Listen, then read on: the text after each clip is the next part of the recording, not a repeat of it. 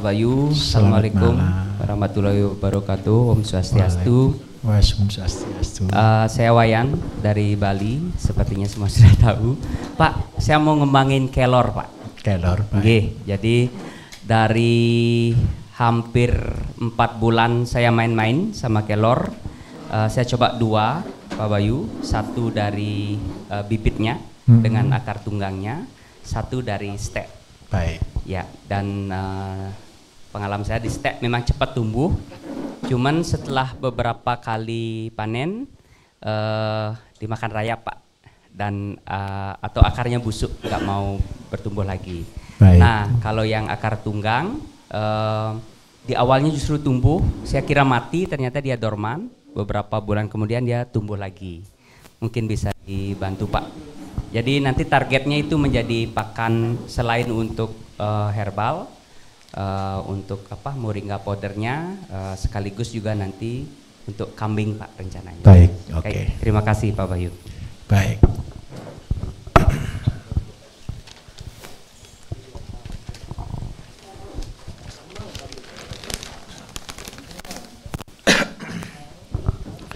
budidaya kelor Bapak Ibu.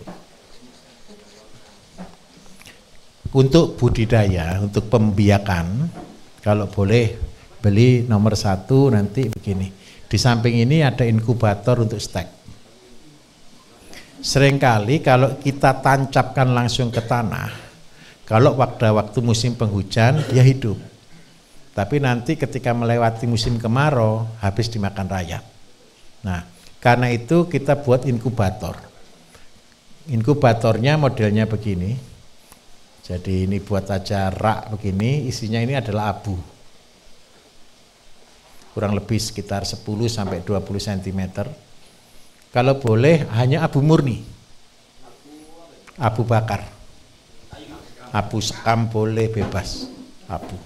Terus yang kedua, ini diisi dengan air, disiram dengan air yang mengandung zat PT. Tadi kan sudah belajar buat zat PT. Kalau boleh lagi zat PT-nya karena kita berfokus kepada akar, berarti zat PT yang bahan aktifnya adalah pertumbuhan akar. Kira-kira menurut bapak-bapak ini, bapak ibu ini, yang paling mudah tumbuh itu tanaman apa? Tahu sosor bebek? Sosor bebek itu ditaruh tumbuh atau tidak? Tumbuh. Terus habis gitu segala jenis tanaman-tanaman seperti lidah buaya dan sebagainya itu dipakai untuk bahan aktif ini sebagai bahan buat ZPT-nya. Kemudian yang kedua, ini bisa ditanam sudah. Tanam di sini kurang lebih selama 1 sampai 2 bulan. Sampai akar ini betul-betul full. Tidak perlu disiram rutin, hanya satu minggu sekali aja disemprot, menjaga kelembapan aja. Lah nanti setelah 1-2 bulan akarnya penuh, baru dipindah dan ini saya jamin beli tidak akan dimakan rayap lagi. Kenapa kok ketika kita stek itu mudah dimakan rayap? Karena dia ada yang luka. Kalau ini tidak ada yang luka. Terus yang kedua Bapak Ibu, kelor. Kelor ini kan multi manfaat. Seandainya daunnya sebagian untuk pakan kambing oke. Okay. Terus yang kedua, kembangkan sebagai pupuk ZPT oke. Okay Terus yang berikutnya lagi syukur-syukur sebagai bahan makanan. Kalau di tempat kami di BSM, kelor ini saya pakai sebagai bahan antioksidan. Jadi siapa yang mengkonsumsi kelor? Mereka yang punya pertumbuhan sel abnormal. Anggap aja sel kanker, sel tumor. Itu pasti saya sarankan makannya kelor. Ada gandengannya tapi tidak bisa kelor tunggal. Jadi kalau untuk penderita tumor atau kanker, Nah, itu makanya adalah kelor, terus yang kedua singkong muda, ditambah dengan tomat. Nah, tiga komposisi ini harus ada di dalam makanan. Jadi seperti misal, kalau di antara keluarga Bapak Ibu ada nih, ini bakat yang paling tidak ganas, lipom seandainya, lipoma gitu ya. Itu kan tidak ganas. Tapi kalau itu sampai dioperasi, percayalah seluruh tubuh akan penuh dengan lipoma. Saran saya tidak perlu dioperasi. Cegah supaya dia tidak menjadi besar. Caranya sering-sering makan ini. Kelor untuk sayur. Terus yang kedua, singkong untuk snack. Tomat untuk sambal. Nah, sudah selesai. Kalau bisa tomatnya sebenarnya kalau di Banyuwangi sini namanya tomat ranti. Tomat mawar. Tahu tomat mawar? Tomat lokal. Nah, ini. Kalau mau lebih lagi spesifik, singkong muda yang usianya di bawah lima bulan. Singkong itu ada kulitnya dua, betul ya? Yang luar warnanya coklat, yang dalam warnanya putih kemerahan. Seadanya ini singkong. Kulit luarnya dibersihkan, dikering. Terus di dalamnya ada kulit warna putih kemerahan betul, baru ada dagingnya. Nah, yang menjadi obat itu adalah adanya singkong dengan kulit ini Bapak Ibu ini mengandung sianida. Tetapi ketika ini kita olah, kita masak, ini munculnya vitamin B17 sebagai anti kanker. Terus terang ini masih perdebatan di Amerika dan sebagainya. Kalau saya yang debat Amerika tidak usah didengarkan, karena mereka tidak pernah tanam singkong. Paham maksud saya? Apa buktinya kalau singkong ini anti kanker, anti oksidan yang tinggi? Nenek moyang kita dulu makannya singkong ini. Dan terbukti orang sakit kanker minim sekali. Bapak Ibu kita akan masuk ke era yang disebut dengan tadi Pak KB tadi pagi sempat sebut your food is your medicine. Dan ke depan dunia herbal, saya punya pabrik herbal pun akan terhambat. Tetapi ada satu yang tidak bisa dihambat. Kalau Bapak Ibu mandiri secara kesehatan. Syukur-syukur ini pagernya. Mau buat kandang nih, buat tanah. Ini ada ini ada kelor, ada singkong, semua tanam di pinggir-pinggir ini. Sebagai apa? Sumber untuk makanan ternak juga sebagai sumber makanan kita minta tolong trik untuk panen sing, panen kelor. Jangan dipotong. Ini rahasia ya. Kalau ini pohon ada cabangnya begini kan, biasanya kan dipotong di sini kan, dipetik daunnya tambah panjang. Jadi yang betul ini dipatahkan. Jadi ini diambil sampai ini sobek. Nah, ketika ini sobek, tumbuhnya tunas ini bukan satu tapi lima Nanti disobek lagi, batangnya tambah besar. Disobek lagi, batangnya tambah besar. Ini trik untuk panen kelor. Pernah tahu buahnya kelor? Siapa sering makan buahnya kelor? Bijinya? Makan tua atau makan muda?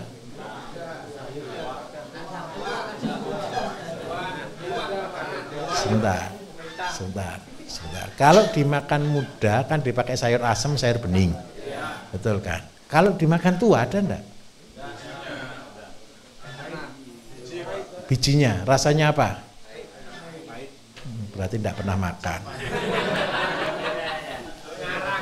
Biji yang paling ajaib itu bijinya kelor Bapak Ibu. Kalau kita makan, dia rasanya tidak ada rasa sih agak pahit ya enggak juga.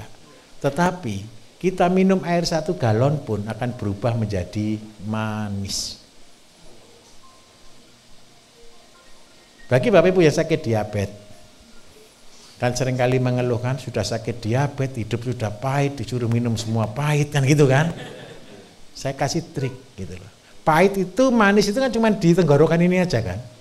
Sepanjang 5 cm tidak sampai ini kan. Kunyahlah biji kelor.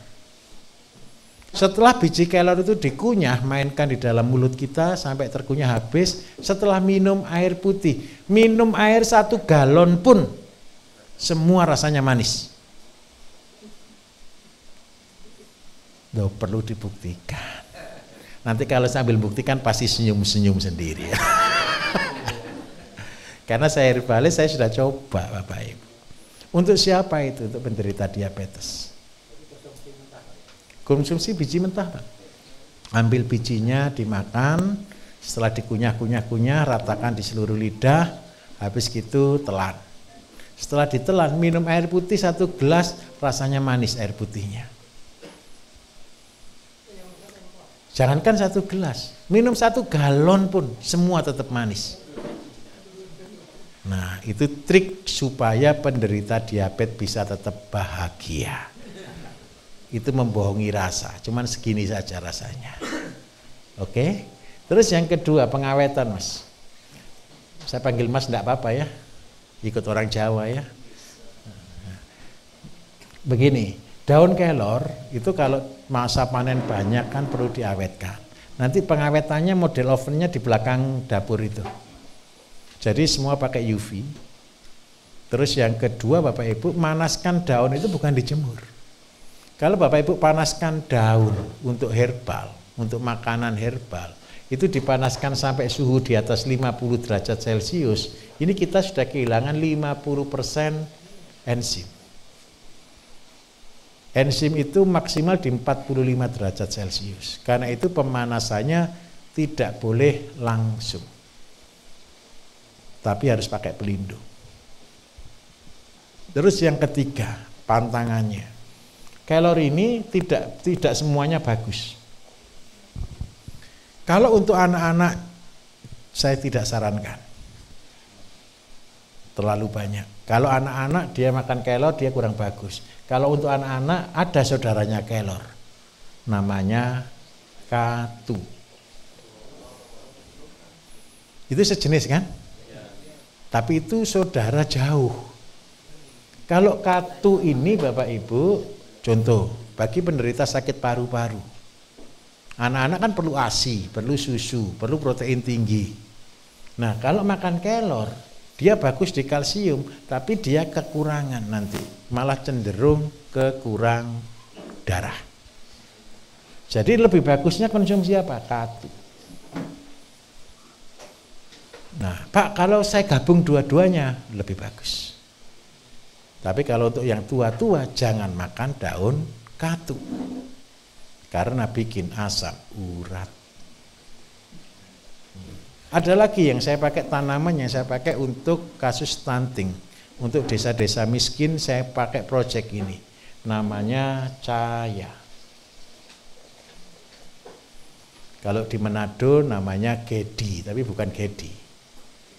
Kalau di sini namanya pepaya Jepang. Telo Papua lah mungkin juga lah ya. Ya. kayak Gedi itu sudah itu sudah begini. Saya tidak diskusi perkara nama karena setiap daerah Indonesia ini hebat-hebat namanya.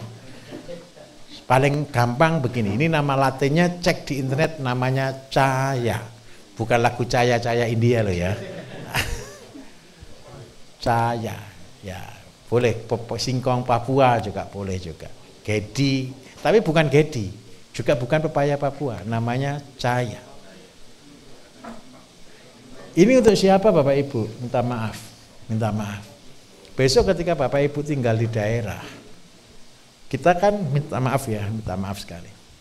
Kita kan sering kali ketemu juga orang mampu, orang tidak mampu. Betul ya. Kalau ketemu anak-anak yang sudah minta maaf perutnya besar, busung lapar seperti itu, kan urgent. Gizi apa yang paling cukup untuk mereka? Dua tanaman ini, katu dan cahaya. Ini untuk menolong mereka. Jadi kalau saya di pedalaman, saya selalu bawa benih tanaman ini. Daunnya rasanya enak, lembut. Gitu. Terus kalau untuk daerah sini, daerah perkotaan ini, Bapak Ibu kepengen tanam itu cari yang mudah berhasil. Jadi saya tanamkan di sini namanya bayam berhasil. Tahu bayam berhasil? Ini sepanjang ini kan banyak kan. Ini dulu juga saya dikasih pasien Pasien ini penyakitnya sering kali hipoglikemi, kurang gula, kurang darah begitu. Terus akhirnya gara-gara dia sembuh, dia ngasih saya hadiah dua pot, dua polybag bayam berhasil. Karena saya yang dikasih, dari dua itu tidak tahu jadi berapa puluh ribu sudah tanaman. Ya. Nah, dari sana Bapak Ibu nanti kalau Bapak Ibu mau silakan bawa benihnya, tinggal potong aja. Tolong dikembangkan. Untuk siapa itu? Supaya anak-anak kita pinter. Dia rasanya lembut, enak, empuk. Untuk apa? Program kami besar adalah STNG, Save the Next Generation. Ayo selamatkan anak-anak muda, selamatkan anak-anak kita. Nah, dari makanan-makanan ini saya berharap inilah jadi obat. Nah, apakah kalau seandainya Pak saya punya caya, saya punya katu, saya punya kelor, bisa untuk makan kambing? Bisa. Untuk makan ayam? Bisa. Nah, ini bahkan program kami ke depan Bapak Ibu, kambing, ayam, sapi, ikan, semuanya ini kita kasih bumbu pada waktu dia masih hidup. Ibu-ibu kalau masak kan nunggu ayamnya mati kan? Baru dibumbui kan? Besok jangan bumbui ketika dia mati bumbuilah dia ketika masih hidup. Supaya apa? Supaya dagingnya berkasiat sebagai obat.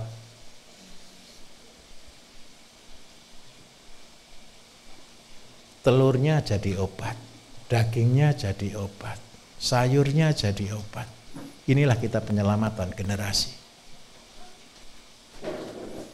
Ayo ketika lihat tetangganya yang susah, kita tidak, jangan tidak peduli ya, saya minta tolong siapkan, siapkan.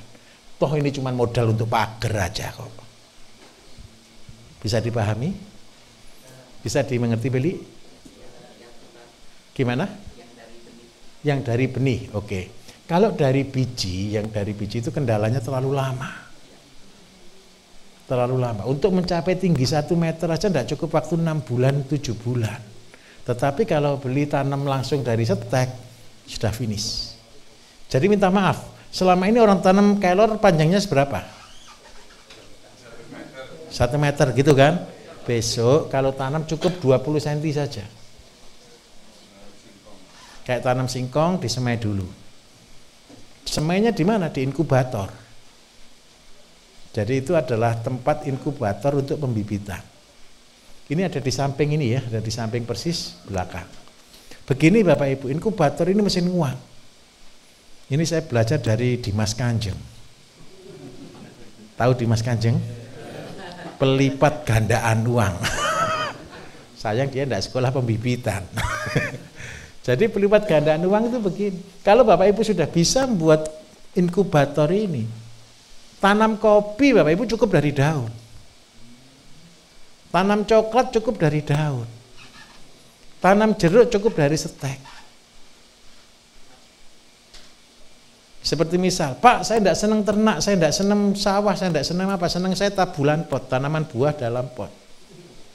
Betul ya? Selama ini kan kita cangkok nih. Kalau nyangkok kan lama, kecil-kecil tapi lama kan gitu kan. Tetapi kalau kita buat setek Bapak Ibu, panjang 5 cm, 10 cm, satu pohon kita gunduli, kita stek. Bulan berikutnya kita potong lagi, kita stek lagi. Banyak sekali, betul atau tidak kira-kira? Caranya cuma sepele. Udara jangan masuk, terus airnya adalah air yang mengandung zat PT. Selesai. Medianya bukan tanah, medianya abu. Sudah. Abu tok sudah. Apanya? Tutup plastik. Silakan besok dilihat di samping. Nah seandainya Bapak Ibu, saya kepengen Pak nanam dari biji supaya lebih terkontrol. Boleh di sini, boleh. Seandainya sudah canggih sekali beli. Waktu masih muda, disetek, ditancap di situ, hidup. Tapi lebih dijaga kelembapan, cuman itu aja. Oke? Siap. Oke, yang tengah. Ya, kultur jaringan tapi tanpa media kultur. Nah, kalau sekolah resminya kan kultur jaringan ini. Tapi kalau kultur jaringan Bapak Ibu kan harus pakai media dulu, agar-agar ya toh lah kalau pakai media agar masih butuh mikroskop, kan saya tidak bisa untuk ngajari orang awam. Otoclave, nah betul gitu Pak ya. Lah sekarang saya ngajarinya sudah ilmu paling desa mirip-mirip kultur jaringan. Nah, pokoknya ilmu saya itu saya ini judulnya kearifan lokal itu sebenarnya tanda kutip itu ngawurisasi dan gadokmologi. Tugas saya itu satu Bapak Ibu, ilmu yang mahal-mahal saya akan simpelkan sesimpel mungkin supaya tidak ada orang yang tidak mampu buat, itu goal saya. Itu katanya itu ilmunya profesor kalau begitu itu. Ini sedikit saya ngomong ini. Kalau profesor ngajar itu kan sederhana, betul kan? Ngomong 10 menit, kalau dosen ngajarnya 2 jam. Tapi kalau profesor cukup 10 menit karena itu the point dan itu ngerti. Lah kalau diajar S1, S2, kita malah bingung kadang-kadang karena kita disuruh menghafal. Tapi kalau kelas profesor yang ngajar, yang diajar itu pengertian. Bapak Ibu tidak boleh ketemu dengan saya belajar menghafal, itu anak SMA. Bapak Ibu ketemu saya yang saya rubah pengertiannya supaya apa? Bapak Ibu bisa lebih hebat dari saya. Paham maksud saya? Karena itu yang saya but, yang saya berikan itu basic dan itu rumus baku. Jangan dihafal, dimengerti konsepnya. Setelah Bapak Ibu buat itu Bapak Ibu sama dengan saya hari ini. Dan nanti Bapak Ibu pasti lebih pintar dari saya. Kenapa kok lebih pintar dari saya? Karena Bapak Ibu langsung praktek. Sedangkan saya masih jalan-jalan terus ngajar begini, tidak tahu sampai tahun depan katanya Pak Babang kontraknya ini saya. Wah, kan saya ketinggalan start dengan Bapak Ibu nanti. saya berharap satu, akhirnya di Indonesia banyak sekali orang pinter yang melebihi saya. Itu goal saya. Minta tolong ya. Oke, mari Bapak mic-nya mana? Minta maaf.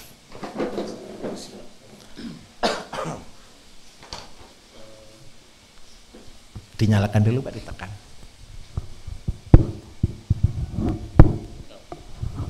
Terima kasih Pak Bayu. Uh, juga ngobrol-ngobrol tadi yang cukup gayeng. Iya. Ada 50 pertanyaan sebenarnya Pak karena titipan dari teman Alhamdulillah. Satu ini angka satu kelas ini di bawah ini. Itu dia Pak. Tapi saya pendek tiga aja Pak. Oh, ah, terima kasih. Kasihan yang lain.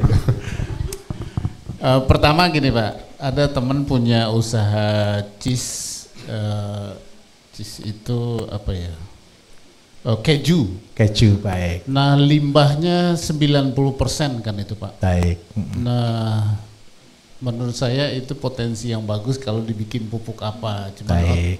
otak saya belum sampai untuk membuatnya itu pak. Yang kedua uh,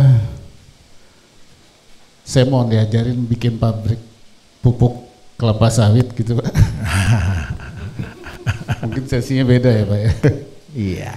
Yang kedua pak saya punya challenging tantang tantangan dari teman-teman ini pak untuk uh, karena kami sekarang punya komunitas sorghum di Jogja gitu pak. Insya Allah minggu depan eh sorry bulan Agustus itu uh, Raja Jogja mau bagi-bagi uh, benih gratis kepada rakyatnya dan menyerahkan tanah sekitar 200 hektar untuk kita kelola bareng-bareng gitu Pak. Nah, saya sudah janjikan saya menyanggupi dalam hati saya mudah-mudahan Pak Bayu bermurah hati membantu saya gitu Pak. Cukup tiga itu Pak. Terima kasih. Assalamualaikum. Terima kasih Bapak. Alhamdulillah. Tidak sulit-sulit gitu loh. Oke, saya jawab dulu tentang sorghum. Tahu sorghum? Sorghum itu kalau batangnya seperti apa? Kalau buahnya seperti apa? Jelek sebenarnya, tapi ya mirip-mirip gandum lah. Oke. Okay. Saya minta maaf Bapak Ibu. Sorghum ini kalau sudah tahu batangnya itu serat dan gula, batang sorghum itu manis Bapak Ibu. Kalau tidak percaya besok kalau ketemu batang sorghum dikupas, dimakan manis tebonnya itu. Ya memang tidak semanis tebu. Tapi ternak suka. Terus bijinya, sorghumnya untuk apa Bapak Ibu? Begini kalau seandainya Bapak Ibu punya sapi, kambing yang menghasilkan susu, makanan utama sorghum ini adalah nomor satu. Jadi seandainya Pak saya pelihara kambing etawa atau kambing sanen atau sapi perah.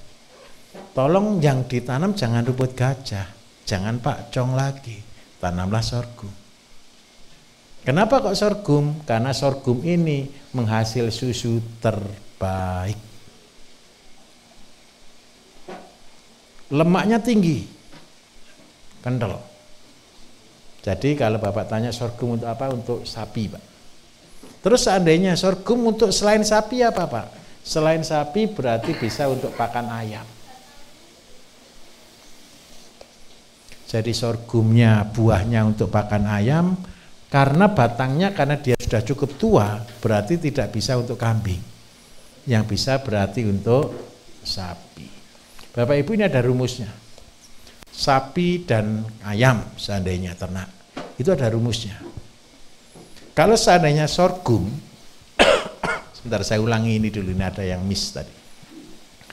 Semua tanaman Bapak Ibu perlu pupuk dari dirinya sendiri. Tadi siang sudah saya sempat singgung, Jangan berhutang kepada tanaman. Apa yang kita ambil, kembalikan.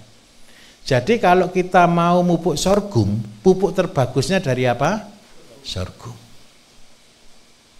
Jadi kalau Bapak Ibu ambil nih, sorghumnya untuk ayam, batangnya untuk sapi.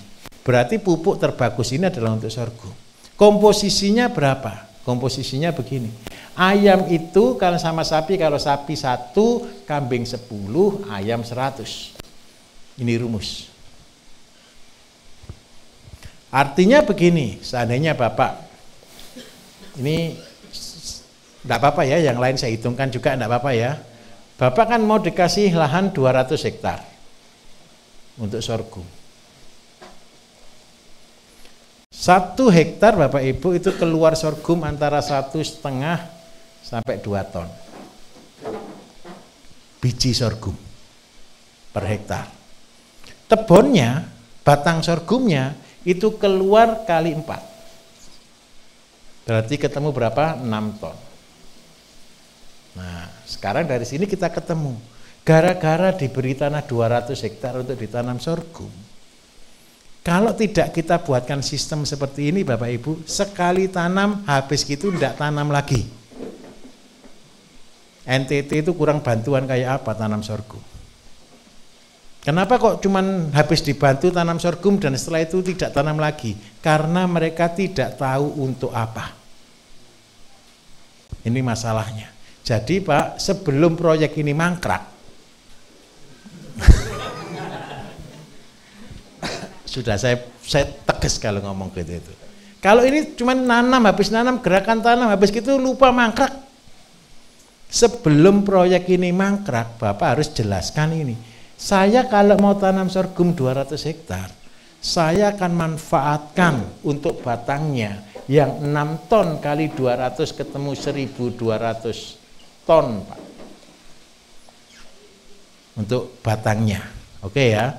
Ini per siklus 3 sampai 4 bulan. Jadi setahun itu bisa tiga kali, ketemu 3.600 ton. Nah, sampai di sini dulu kita hitung. Berapa sapi yang harus kita siapkan untuk kita kasih makan? Tahu sapi Bapak Ibu? Makannya sapi berapa kilo sehari? Anggap aja 40 kilo sehari, oke ya? 40. Kalau kali setahun berapa Bapak Ibu? Boleh dibantu? Sekitar 15-an ton ya. Satu ekor sapi setahun itu makannya 15 ton. Padahal kita punya stok ini 3.600 ton. Berarti 15 ton 3600 dibagi 15 ketemu berapa Bapak Ibu? Sorry, 3600 dibagi 15 Eh? Enggak lah 3600 dibagi 15 kok, cuman 200 Kalau saya kecilkan, berarti sebenarnya satu hektar cuma cukup untuk ngasih makan sapi satu. Tapi jangan putus asa. Kita masih bisa pelihara ayam, Pak. Kalau seandainya real 200 hektar yang ditanam, itu bisa untuk sapi 240 tanpa beli pakan dan pupuknya dikembalikan lagi sehingga sorghumnya semakin lama semakin baik. Terus yang kedua, ayam yang kita bisa pelihara dari sini berapa banyak? 240 dikalikan 100. Ketemu berapa berarti? 24 ribu ekor. Sudah. Nah, kalau Bapak mau, begini Bapak Ibu. Indonesia ini punya satu hal yang luar biasa dibandingkan dengan luar negeri. Kita kalau di desa dulu Bapak Ibu, kita kenal namanya gotong royong, betul? Kerja bakti. Itu nilai sebenarnya nilai budi pekerti bangsa kita. Tapi memang terus terang akhir-akhir ini sudah tergerus habis. Dari gotong royong itu munculnya namanya kooperasi. Nah, saya usul seandainya boleh ada lahan 200 hektar ditanami sorghum, mulai Bapak buat korporasi. Apa? Kooperasi di sini. Bereset sedikit bahaya, Pak. Bereset sedikit jadi korporasi. bahaya, beda beda level. Jadikan sebagai kooperasi. Supaya apa? Ini menjadi sistem simbiosis yang yang berhasil. Ini untuk sorghum. Jadi produksinya memang kecil, tapi kalau ini dijalankan sistem tidak ada yang terbuang, pupuk tidak perlu beli sampai kapan pun. Dan sorghumnya pasti bisa jalan. Karena yang dijual bukan jual sorghum. Paham maksud saya di sini? Terus ngolahnya gimana Pak? Tidak usah diolah.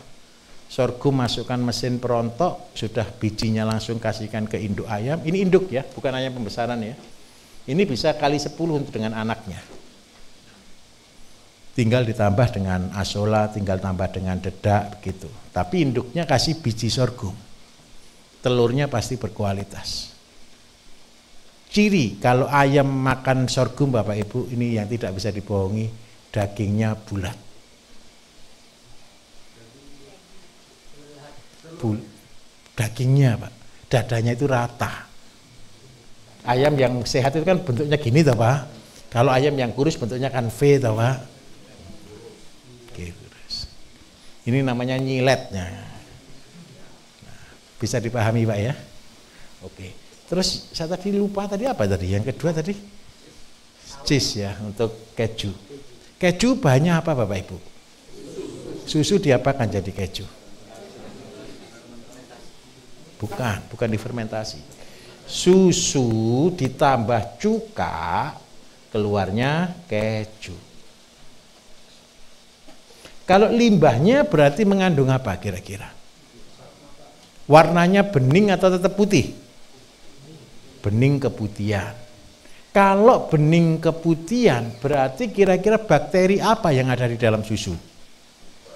Lactobacillus. Kalau lakto kira-kira untuk apa? Untuk pencernaan, untuk makan jangan kalau sudah ada lakto berarti kita pakai untuk pembenah tanah. Tanah yang tidak subur, Bapak carikan lakto ditambah dengan trichoderma, ditambah dengan humus, maka itu menjadi pembenah tanah nomor satu.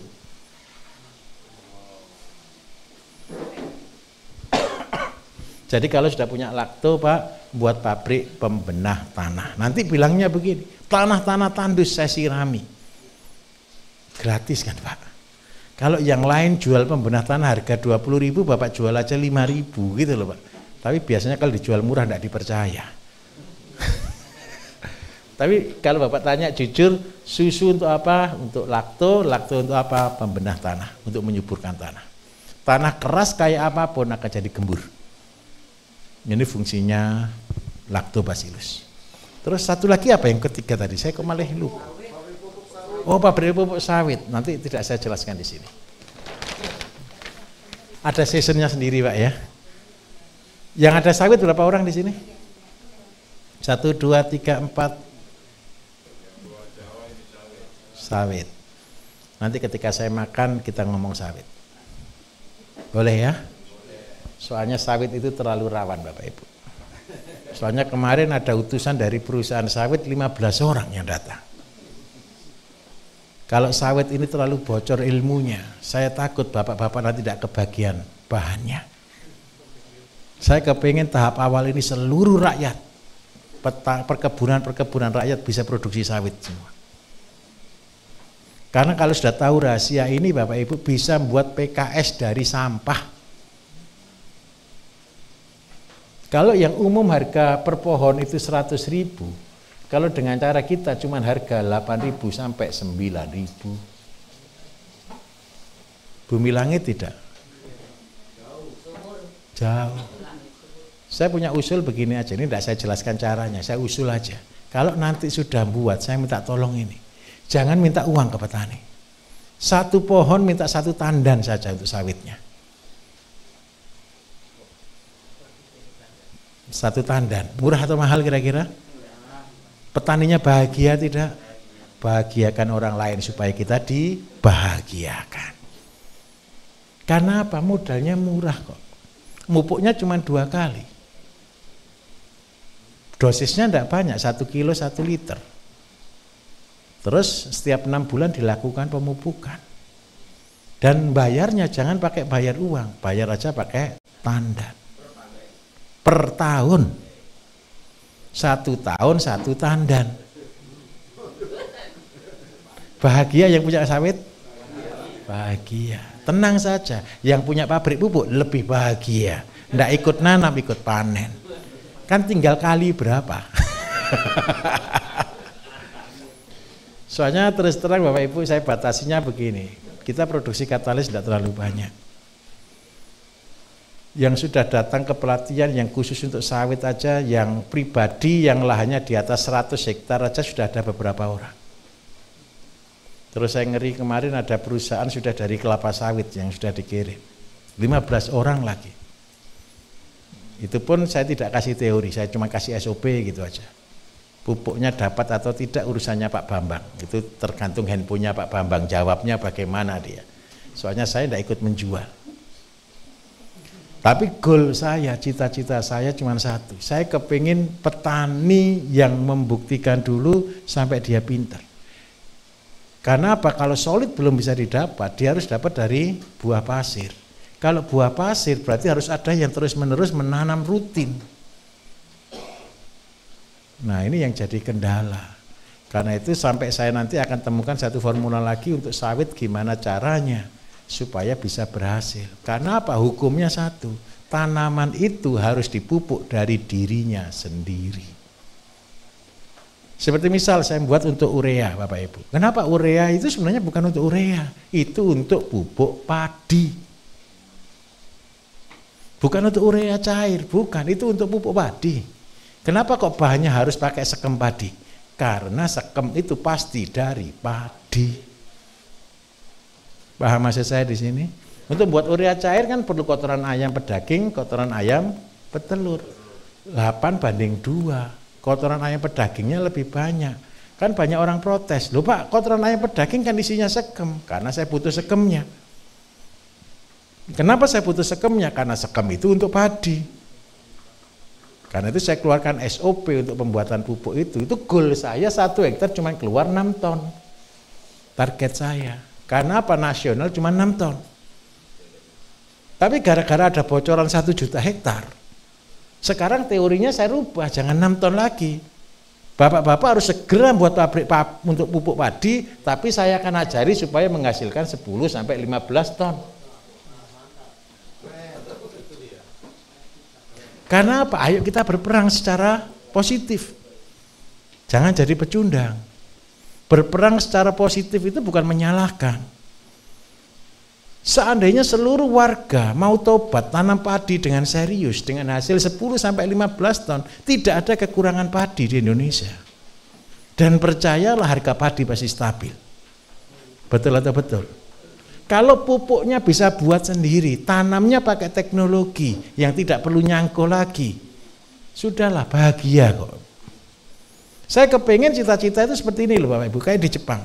Orang tanam padi tidak perlu luas. 100 meter setiap rumah tapi. Betul ya? Minimal satu, saya tidak beli padi. Sudah selesai.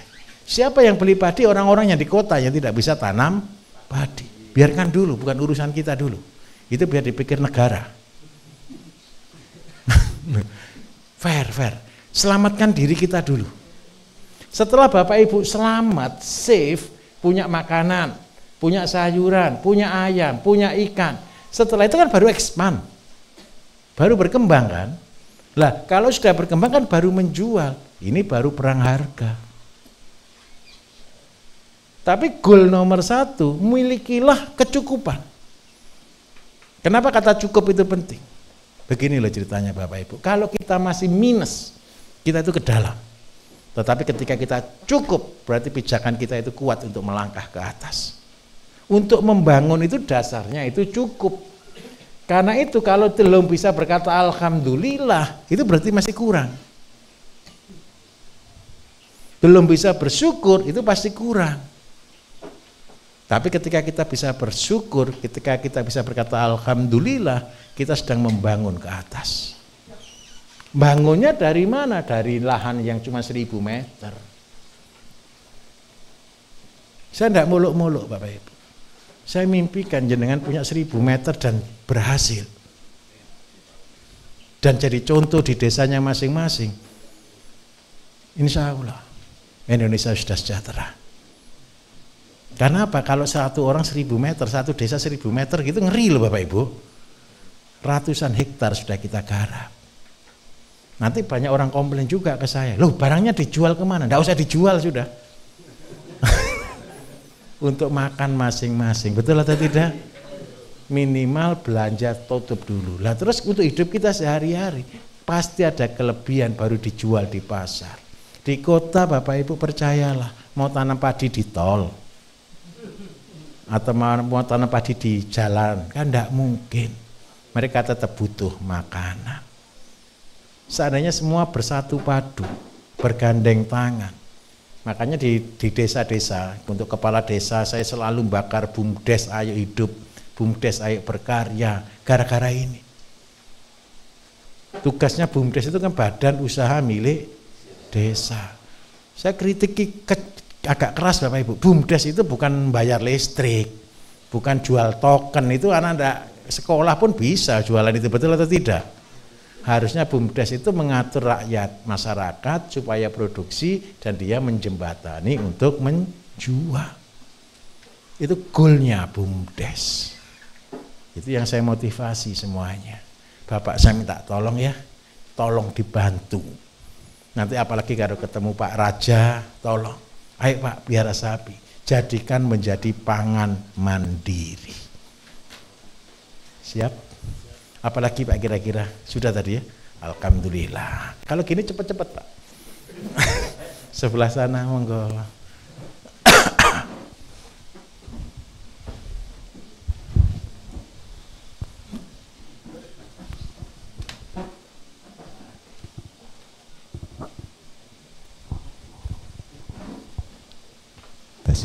Assalamualaikum warahmatullahi wabarakatuh. Waalaikumsalam warahmatullahi wabarakatuh. Ya, terima kasih sebelumnya Pak Bayu atas kesempatan untuk bertanya. Ini saya Soekarti dari Bojonegoro.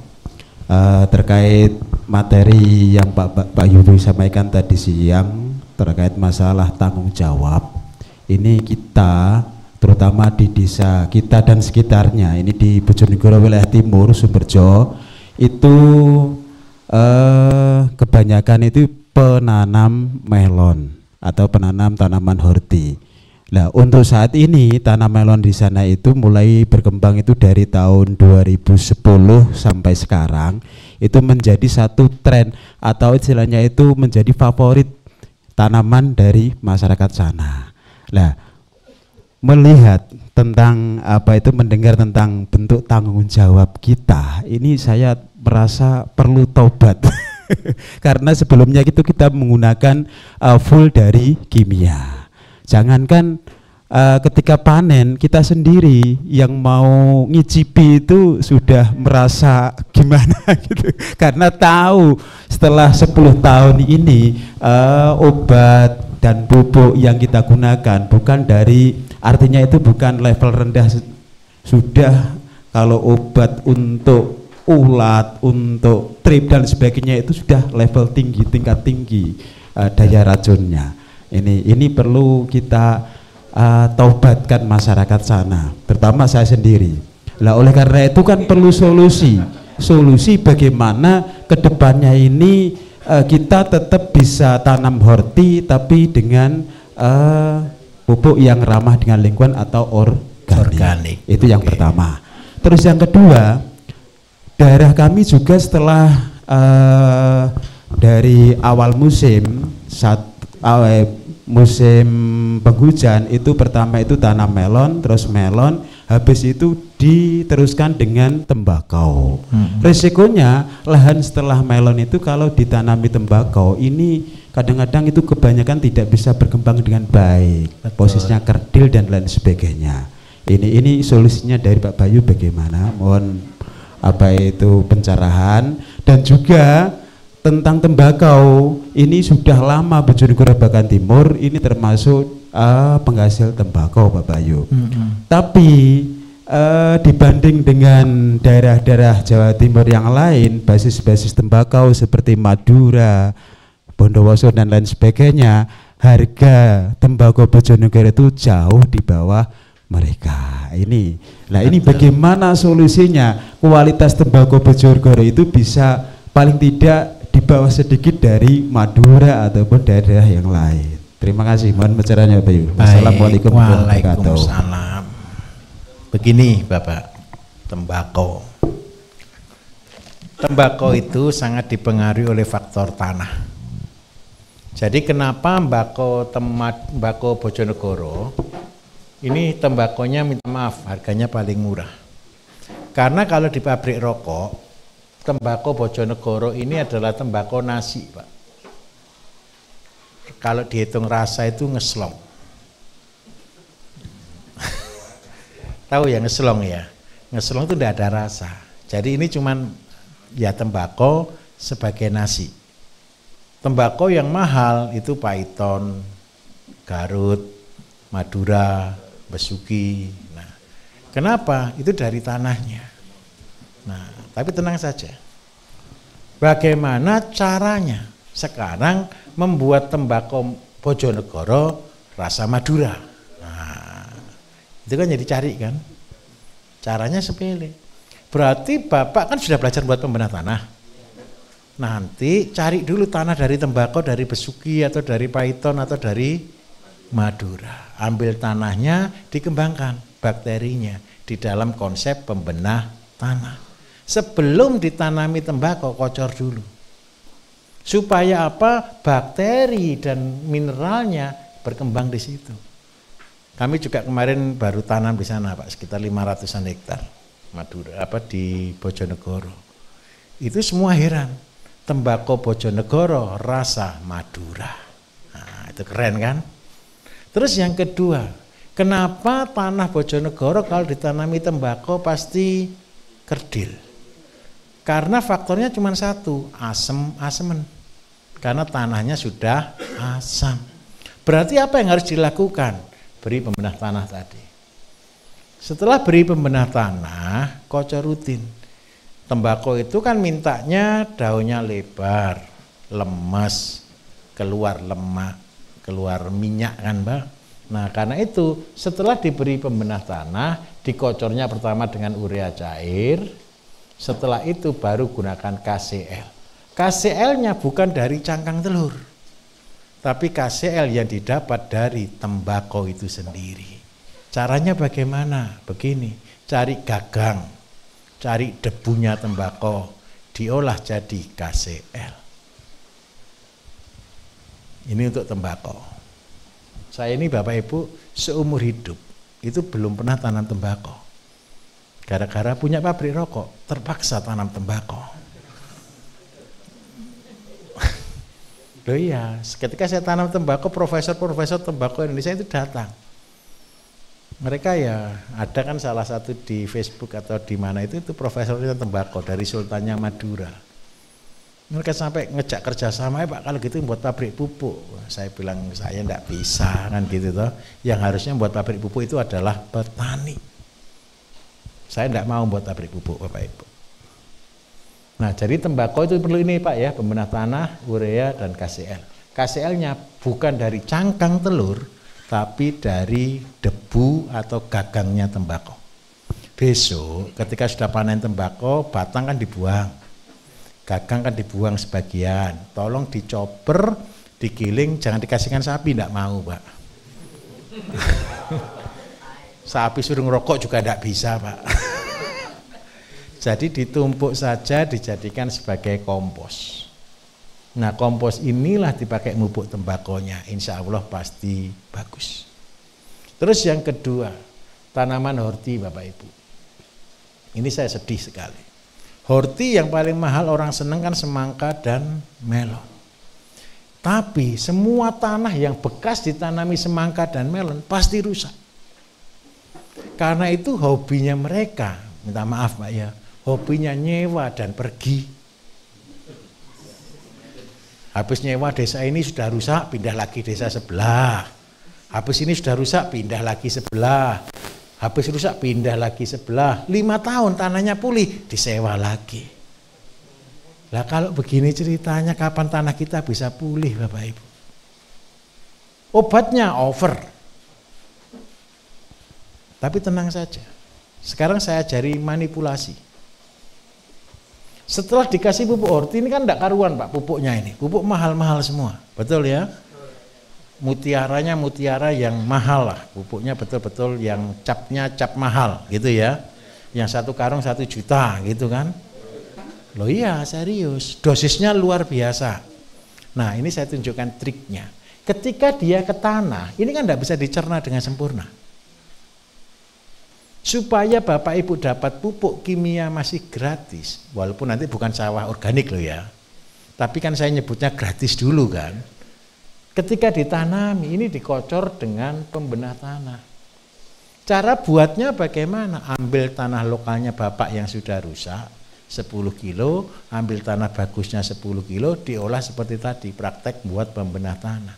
Maka tanpa dipupuk apa pun Bapak Ibu, tanaman di sini pasti subur.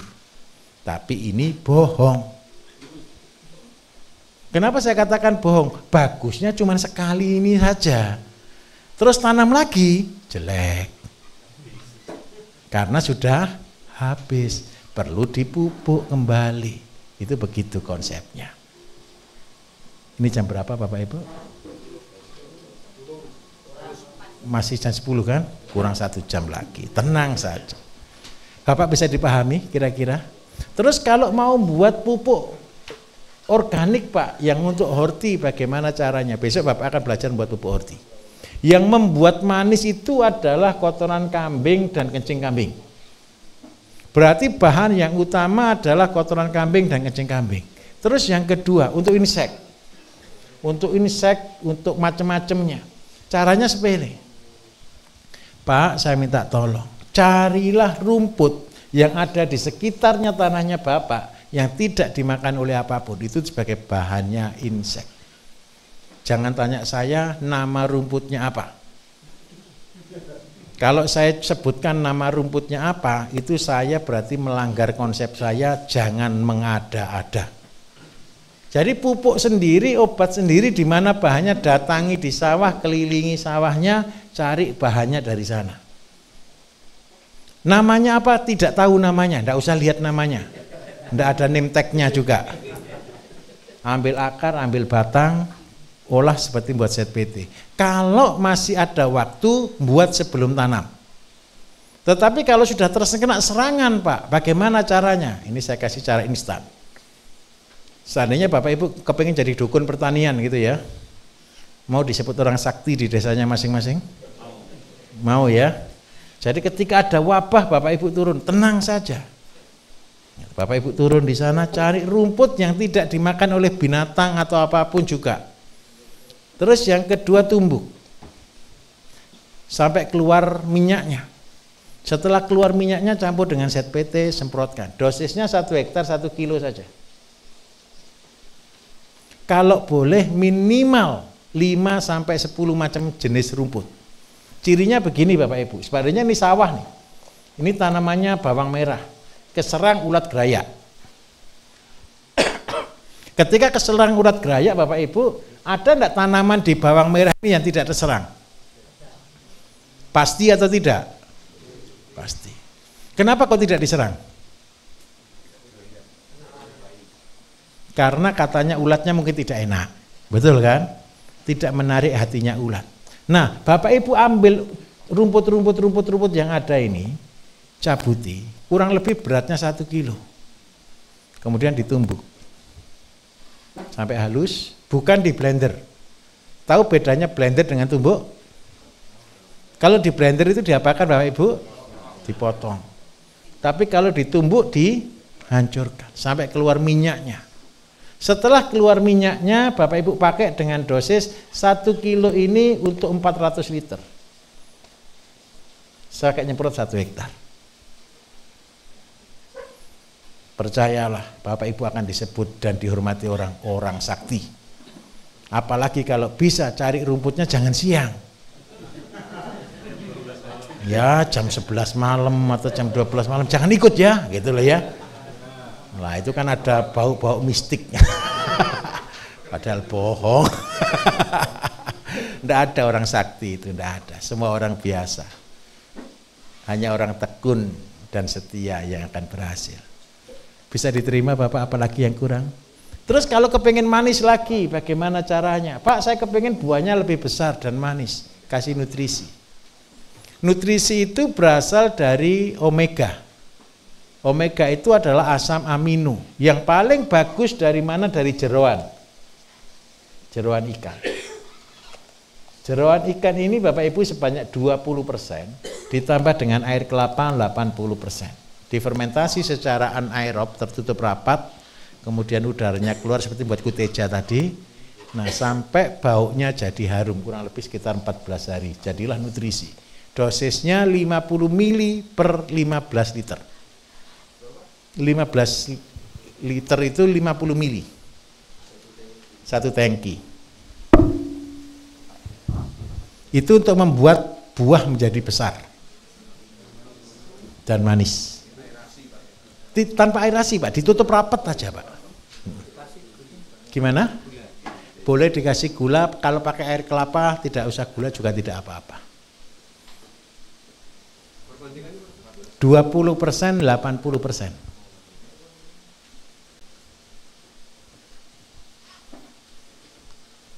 Mari bertanya lagi dari sini lagi satu, satu, oke satu tengah sudah oke, sebelah sini oke satu, pakai kacamata satu, dua, tiga, tiga, tiga, begini biar adil ya.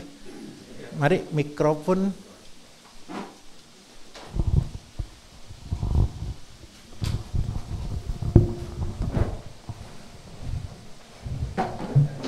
Uh, halo, selamat malam. Selamat malam, Mas. Uh, saya ingin bertanya, uh, kebetulan yang ada di dekat uh, lingkungan saya itu limbah gipsum. Uh, limbah apa? Gipsum. Gipsum. Ya. Uh, apakah itu bisa dipakai untuk di antara alpukat atau cabai?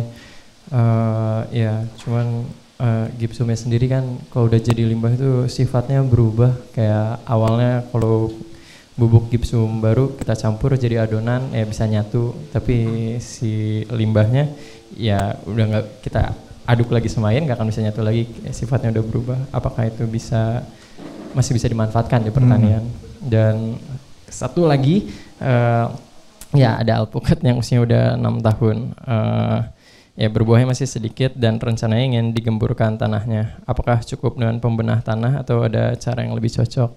Tahun Usianya berapa tahun apokatnya? Uh, enam. Enam tahun. Yeah. Baik. Ini jenis apa? Uh, oh, itu. Uh, Gimana? Macam-macam sih, kayak lokal. Lokal. Uh. Daerahnya di mana?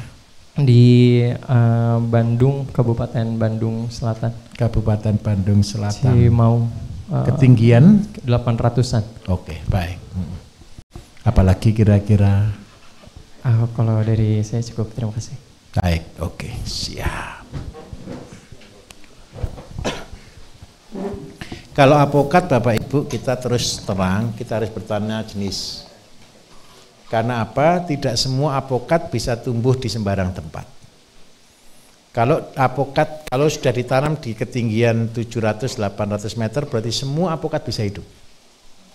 Nah, pertanyaannya kan dari lokal. Umur 6 tahun. Umur 6 tahun ini bukan jaminan dia harus bisa berbuah, tapi memang harusnya bisa juga berbuah. Saran saya satu, coba dulu mas dibuahkan. Jadi pembuahannya berarti kalau kita mau membuahkan paksa, berarti kita perlu namanya KCL. Semprot dengan KCL dan kocor dengan KCL. Dia pasti berbuah, berbunga. Setelah dia berbunga, supaya bunganya ini menjadi buah dan utuh, tidak rontok, tolong berikan nutrisi. Seandainya dengan cara ini dia belum berbuah, berarti tanamannya memang belum siap berbuah. Saran saya ditempel. Ditempel dengan tanaman tertentu seandainya di pohon besar jangan dipotong dulu. Belum tentu nanti yang ternyata apalagi dari biji. Dari biji itu kan random ya. Kadang bisa baik, kadang bisa jelek. Tetapi kadang-kadang apokat lokal itu kadang-kadang lebih enak rasanya. Jadi supaya tidak menyesal, pakai aja yang dari bawah sini dipakai tempel aja mata tempel aja. Sekarang di YouTube sudah banyak kan caranya nempel. Intinya nempel cuma satu. Yang pertama tidak ada udara yang masuk dan tidak ada air yang masuk. Jadi dibuat tempel, ditempelkan, diikat rapat, sudah begitu dia tumbuh, biarkan. Kalau yang ini ada biasa setahun pasti buah. Karena dia berasal dari batang yang tua. Tetapi yang ini belum tentu karena ini dari biji yang kita tidak tahu betul. Jadi kalau nyemprotnya KCL bukan di bawah ya, di pohon, di pucuk-pucuknya. Bapak Ibu kalau untuk buah terus terang kan begini. Saya belajar buah itu ya terus terang dari luar negeri. Konsepnya begini, kita sering kali punya buah tinggi atau pendek? Kalau tinggi susah enggak manennya? Untuk mendapat grade A itu bisa enggak?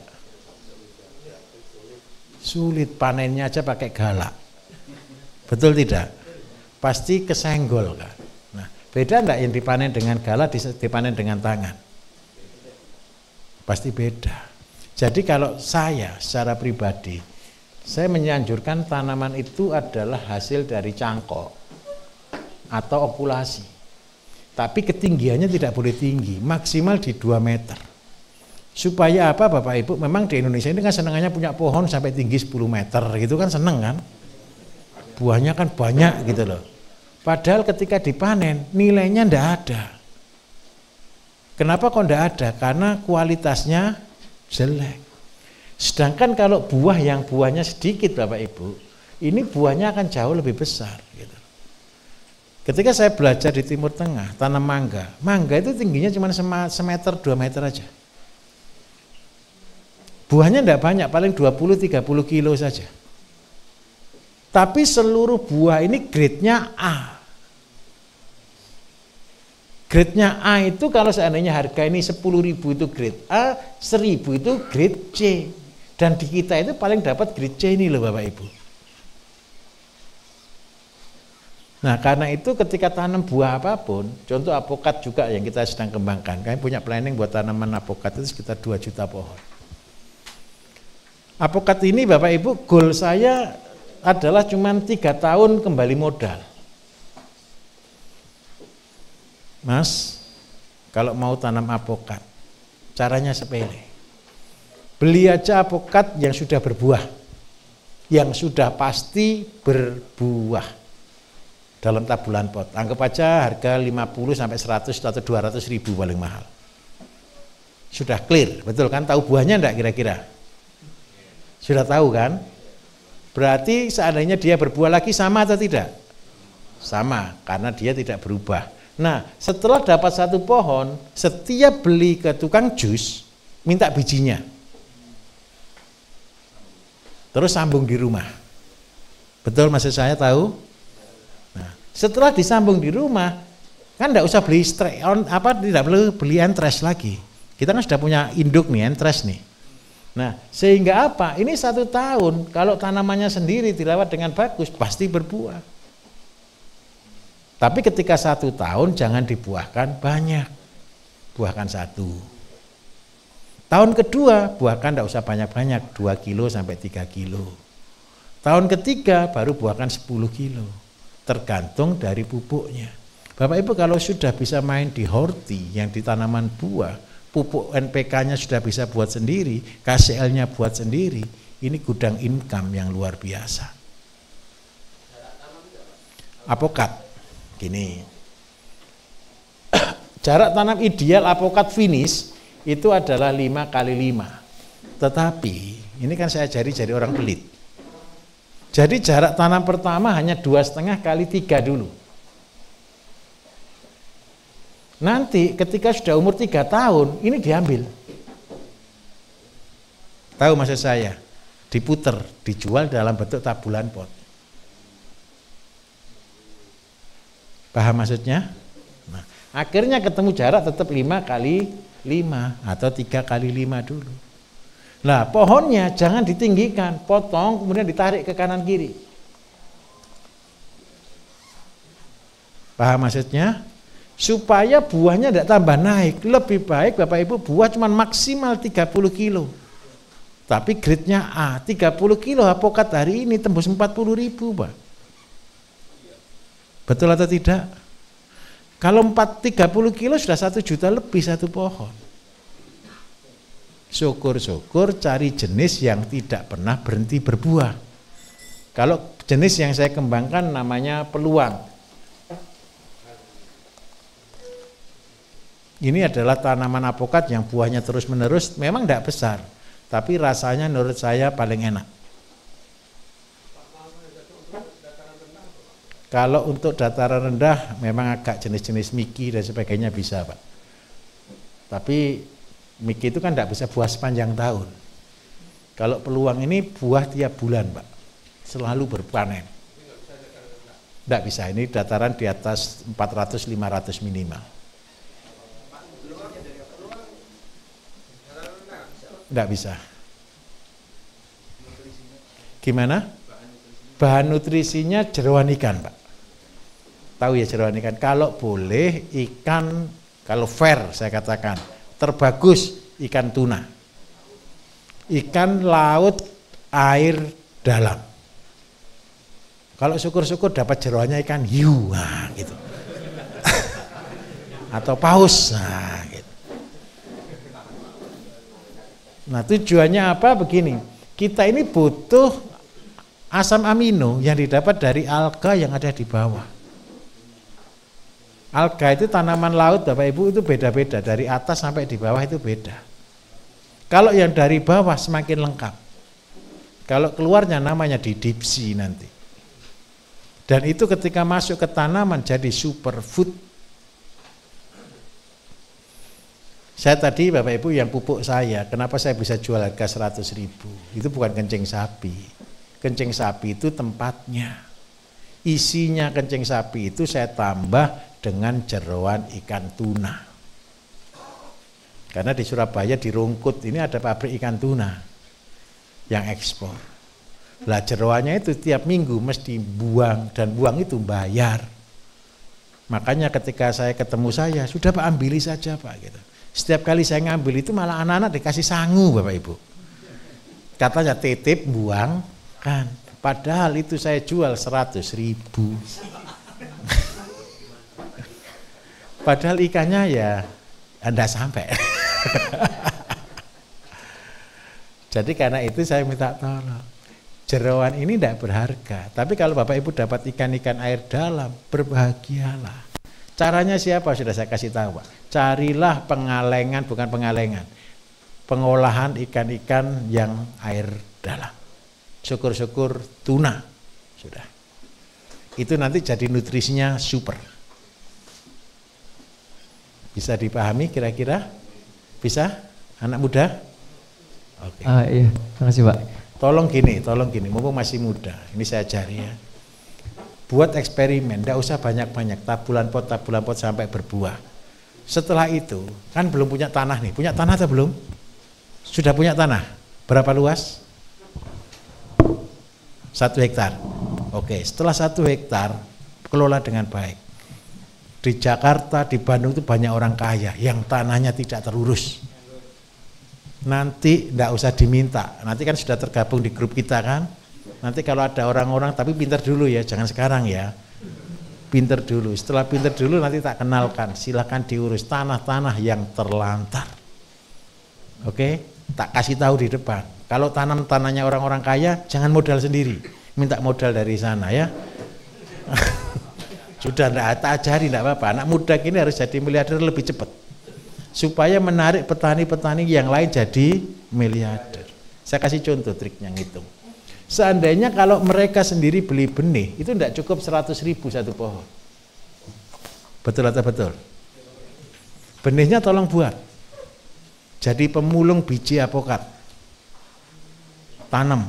Setelah tanam buat. Bilang ke mereka saya jual cuma 10 ribu. Ini cara saya.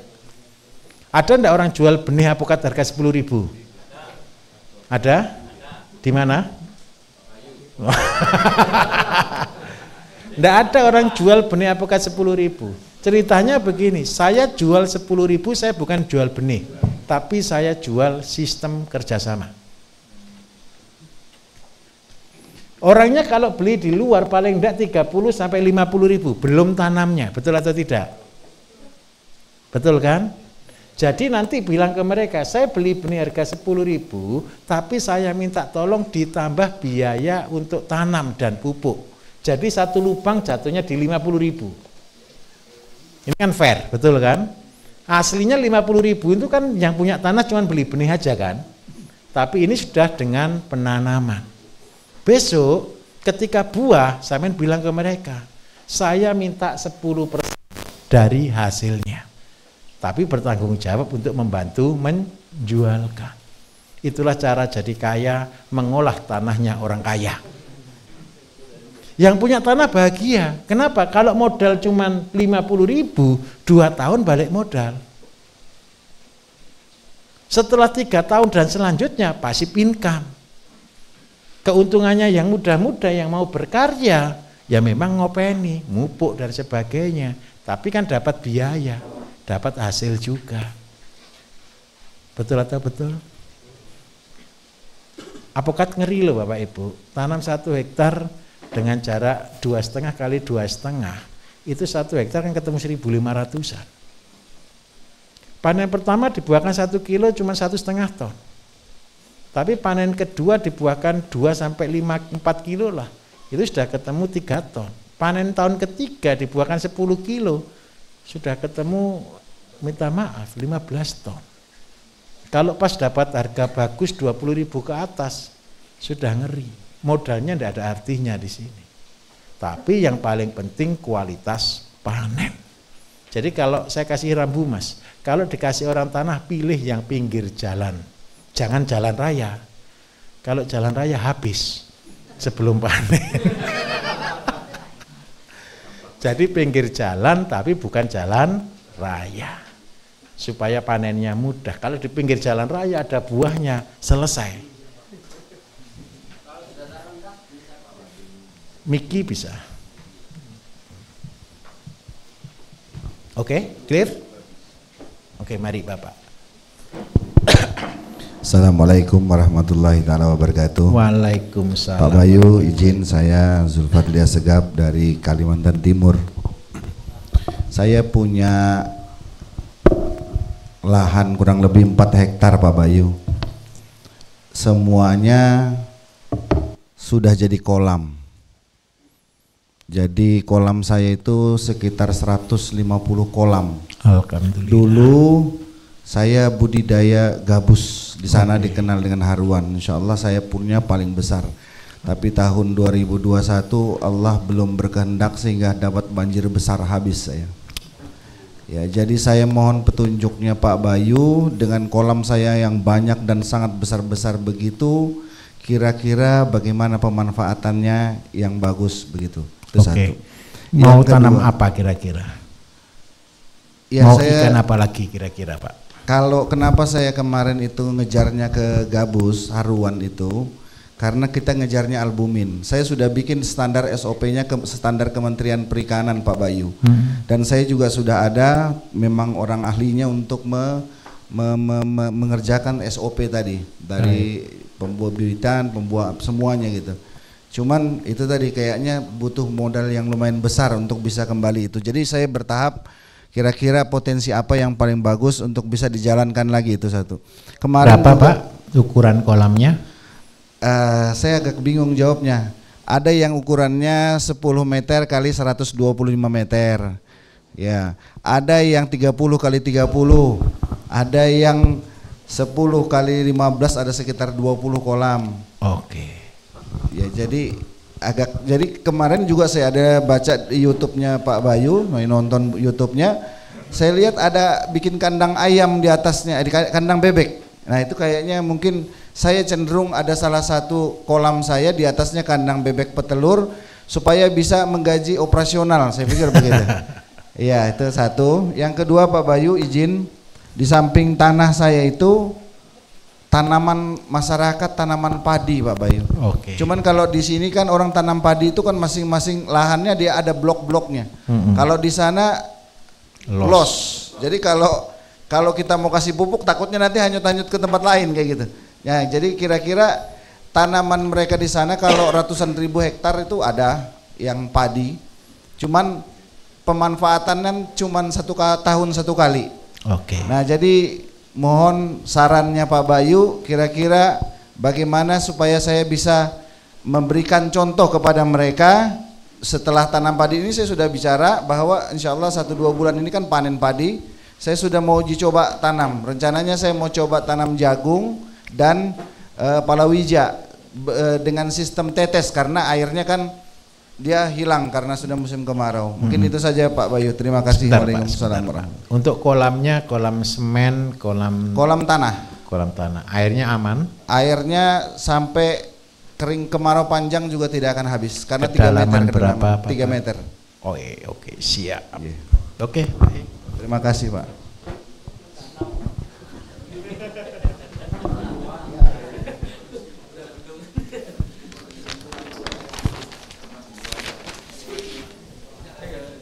Apa harus gabus atau patin atau apa bisa? apa saja boleh jadi yang murah meriah yang saya pikir dengan kondisi sekarang ini dulu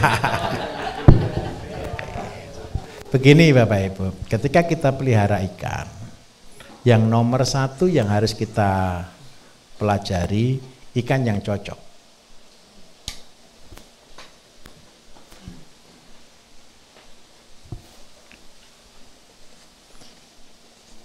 Ikan yang cocok untuk daerah itu. Sebenarnya kalau untuk Kalimantan gabus adalah memang ikan lokal, ikan lokal sana. Dan kalau seandainya gabus pun sebenarnya boleh. Ini larinya ke albumin oke. Tapi minta maaf, kadang-kadang begini. Kenapa gabus kalau di Kalimantan cari benih juga masih gampang ya? Saya ketika kapan hari di Waringin lama itu sungainya juga isinya ikan gabus ya, ndak usah dipelihara sudah banyak sekali.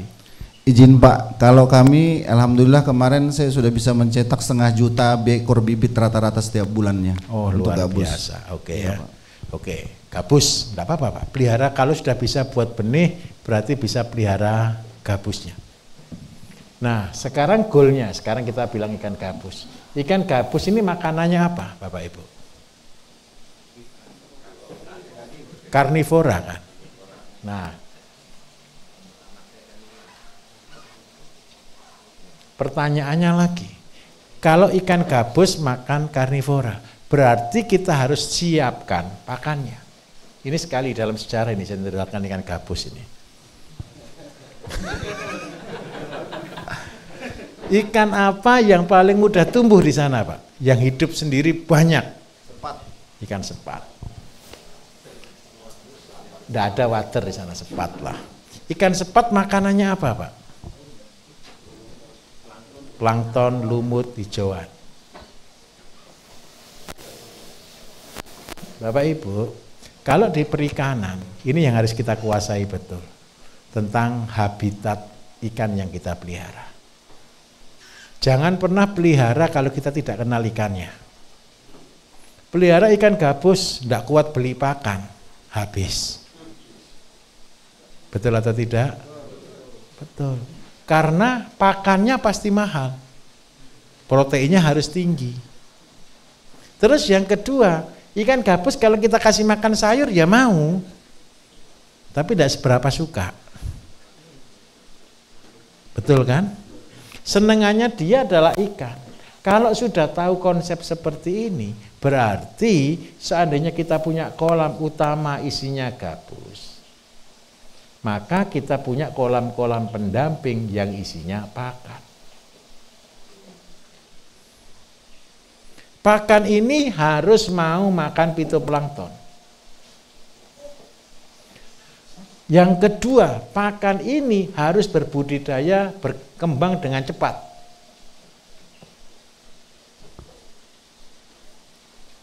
Dan ini tidak boleh beli. Ini rumus.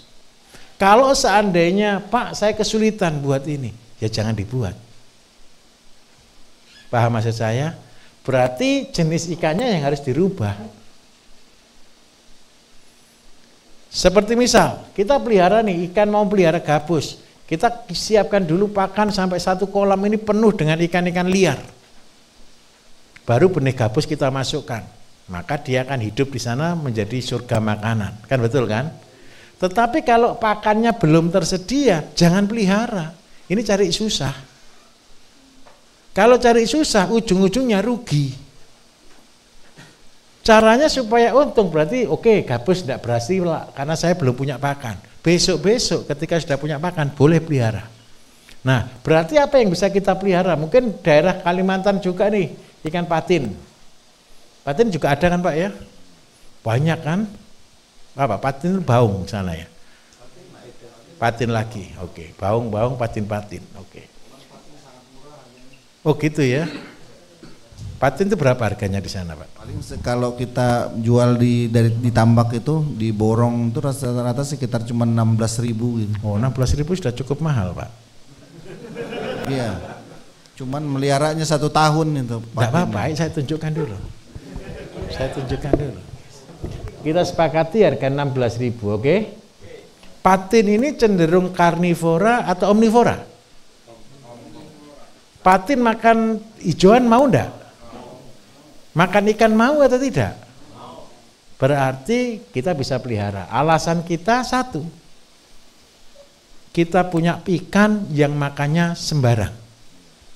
Nah, kalau sudah ketemu oke okay, patin saya punya. Bapak tadi punya lohan total 4 hektar, oke? Okay? Patin ini enaknya satu, tanpa aerasi, tanpa sirkulasi. Kedalaman sudah seneng saya, 3 meter. Besok kalau sudah berhasil 6 meter. Serius, serius, ini serius. Kenapa ini penting sekali? Begini hitungannya. Seandainya gol saya pelihara ikan patin dengan bobot satu ekor satu kilo, berarti waktu pemeliharaan adalah 12 bulan, dengan kepadatan, saya pakai kepadatan minimal supaya pasti berhasil karena tanahnya luas, betul Pak ya? Satu meter cuman saya isi dua ekor. Ini main-main atau serius? Tapi minta maaf, jangan dulu bilang main-main.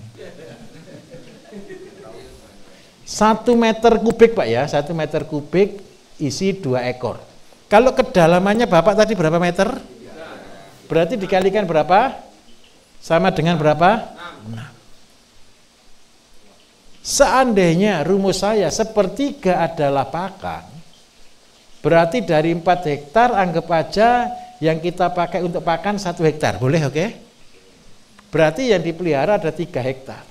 Saya minta maaf, kalau ini dikalikan 30 ribu ketemu berapa Pak?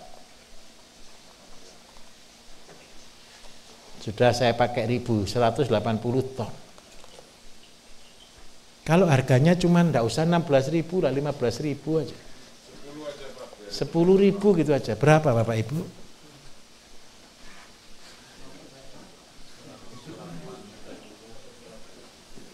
Seratus delapan puluh tambah nol satu tambah nol tiga tambah nol tiga satu dua satu koma delapan m. Banyak orang selalu berpikiran untung besar, betul atau tidak? Ingat baik-baik konsepnya. Apa yang pasti berhasil. Daripada untung besar fata morgana, lebih baik untung 100 rupiah tapi real. Kalau pelihara patin apa resikonya Pak? Hampir tidak izin, ada. izin Pak, di, mungkin karena kemarin saya habis kebanjiran itu kan mungkin juga masih ada gabus-gabus dan lain-lain di dalam Nah. itu Pak. Ketakutnya kalau dimasukkan bibit nanti Selesai. selesai begitu Pak. Iya, strum Pak. Kita setrum aja Pak Iya, ya. strum dulu. Soalnya gabus diobati dia juga masih tahan, Pak. Strum, Pak. Pakai berapa ampere gitu, Pak. Jangan langsung PLN loh, Pak ya.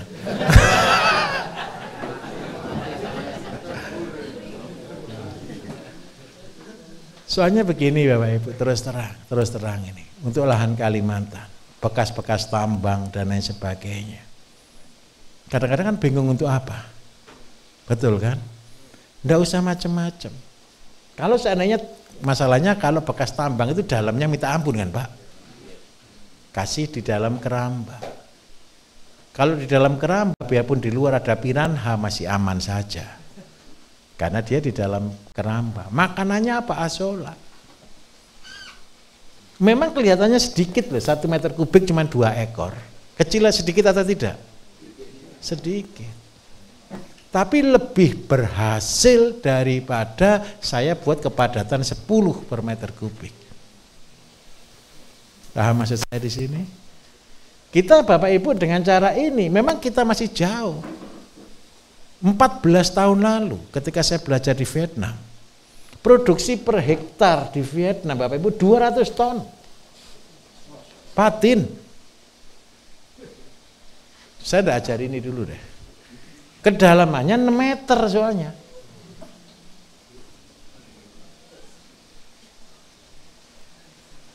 Nah, kita tidak usah belajar ini dulu. Kita belajar yang ada saja. Nanti begitu Bapak sudah berhasil, Bapak buktikan bisa keluar segini, silahkan digali sampai 6 meter. Kemudian dipakai untuk apa? Dipakai nanggul supaya tidak banjir lagi. Paham maksud saya? Oke. Tambah lagi sedikit Pak. Boleh, boleh Pak. Di kolam itu kan banyak kolamnya Pak. Tapi ada beberapa kolam, mungkin separuh gitu, yang kok enggak sama dengan kolam-kolam. Padahal kan be- be- satu daerah gitu Pak. Sa- yang airnya bagus tapi yang lain juga masam. Sehingga Oke. tumbuh apa namanya apa tanaman liar yang masam itu pak. Itu eh, karena apa? Jadi berbeda tadi itu dan mungkin solusinya untuk mengatasi yang masam tadi itu pak. Gini, air kolamnya. Kalau di Kalimantan ini kayu ada gambut atau bukan bawahnya? Baik. Kalau gambut Bapak Ibu, kita tidak bisa kontrol. Kenapa kok saya katakan tidak kontrol? Karena gambut itu adalah kita tidak tahu kayu apa yang tumbuh di situ dulu. Terus yang kedua, karena gambut dalam rendaman air, ini maka terjadi asam. Supaya tanah ini bisa menjadi netral, penetral terbagus apa? Carikan kotoran kelelawar, Pak. Ini adalah penetral untuk kolam. Kotoran walet bisa. Kotoran kelelawar bisa. Dosisnya 100 kilo untuk satu hektar. Kalau Bapak Ibu punya kolam yang asam, yang bau, yang minta ampun, kasih 100 kilo per hektar, tunggu dua jam, airnya jadi bagus. Tanpa fermentasi itu hebatnya kotoran kelelawar.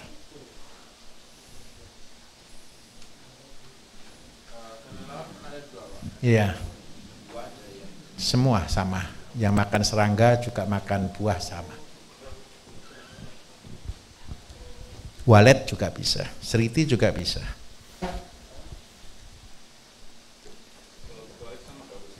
Gimana Pak? Tapi kalau saya lebih bagus yang kelelawar. Boleh Pak. Iya. teman saya yang mau hadir kemarin itu kan dia punya kolam Iya Pak. kolam di sana itu daerah Pasaman Timur Sumatera Barat Iya, kan kolamnya gede-gede iya, satu kolam bisa satu hektar betul. yang kedalaman kira-kira 5 meter Oke. kendalanya selama ini kolamnya itu apa namanya pertama waktu bikin kolam Mm-mm. itu masih seimbang masih seimbang masih dapat untung artinya harga daging waktu itu 21 ribu harga pakan masih 200 250 per Iya. karung Betul. nah sekarang harga daging 25 ribu harga pakan udah 450 Betul. ini ketemu lagi Mm-mm. nah ini solusinya seperti apa Solusinya satu, jangan beli pakan. ikan ikan mas pak Baik, ikan mas.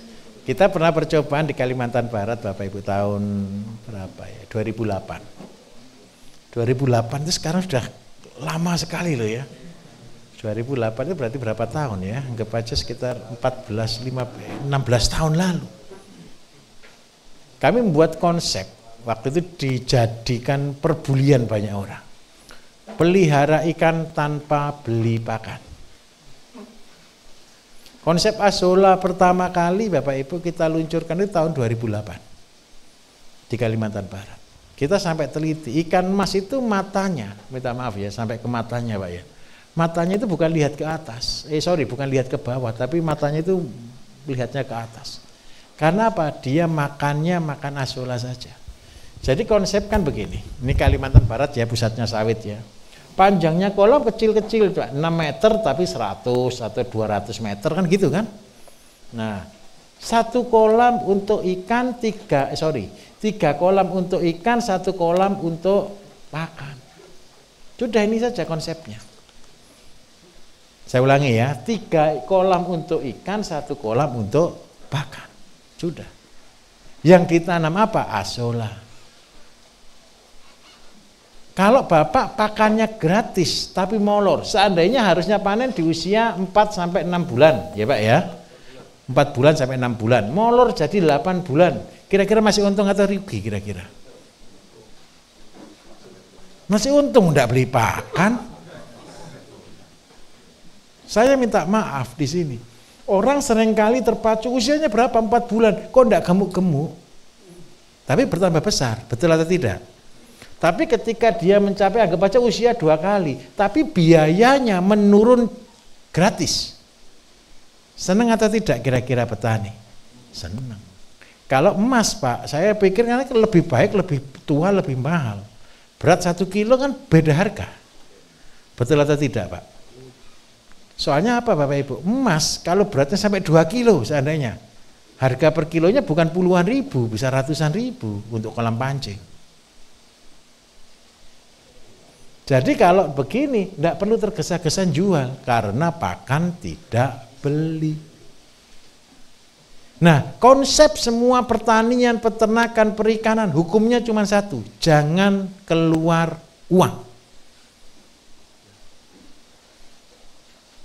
Loh Pak ini sulit, jangan cari yang sulit, cari yang paling mudah.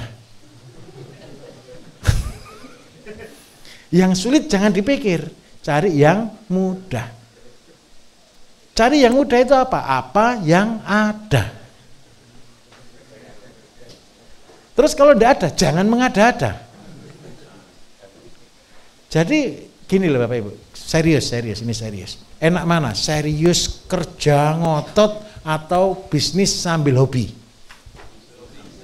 Bisnis sambil hobi, bahagia. Percayalah Bapak Ibu, siapa di antara Bapak Ibu yang pernah kepingin lahir ke bumi dulu? Ada tidak yang pernah kepingin? Saya dulu Pak kepingin lahir ke bumi Pak, gitu ada enggak? Tahu-tahu muncul kan? Saya minta maaf, itu kata kuncinya. Tolong dipegang betul-betul. Kalau Bapak Ibu datang ke bumi ini tahu-tahu muncul, berarti ada yang nyuruh turun enggak kira-kira? Ada. Siapa dia? Pencipta kita. Betul atau tidak?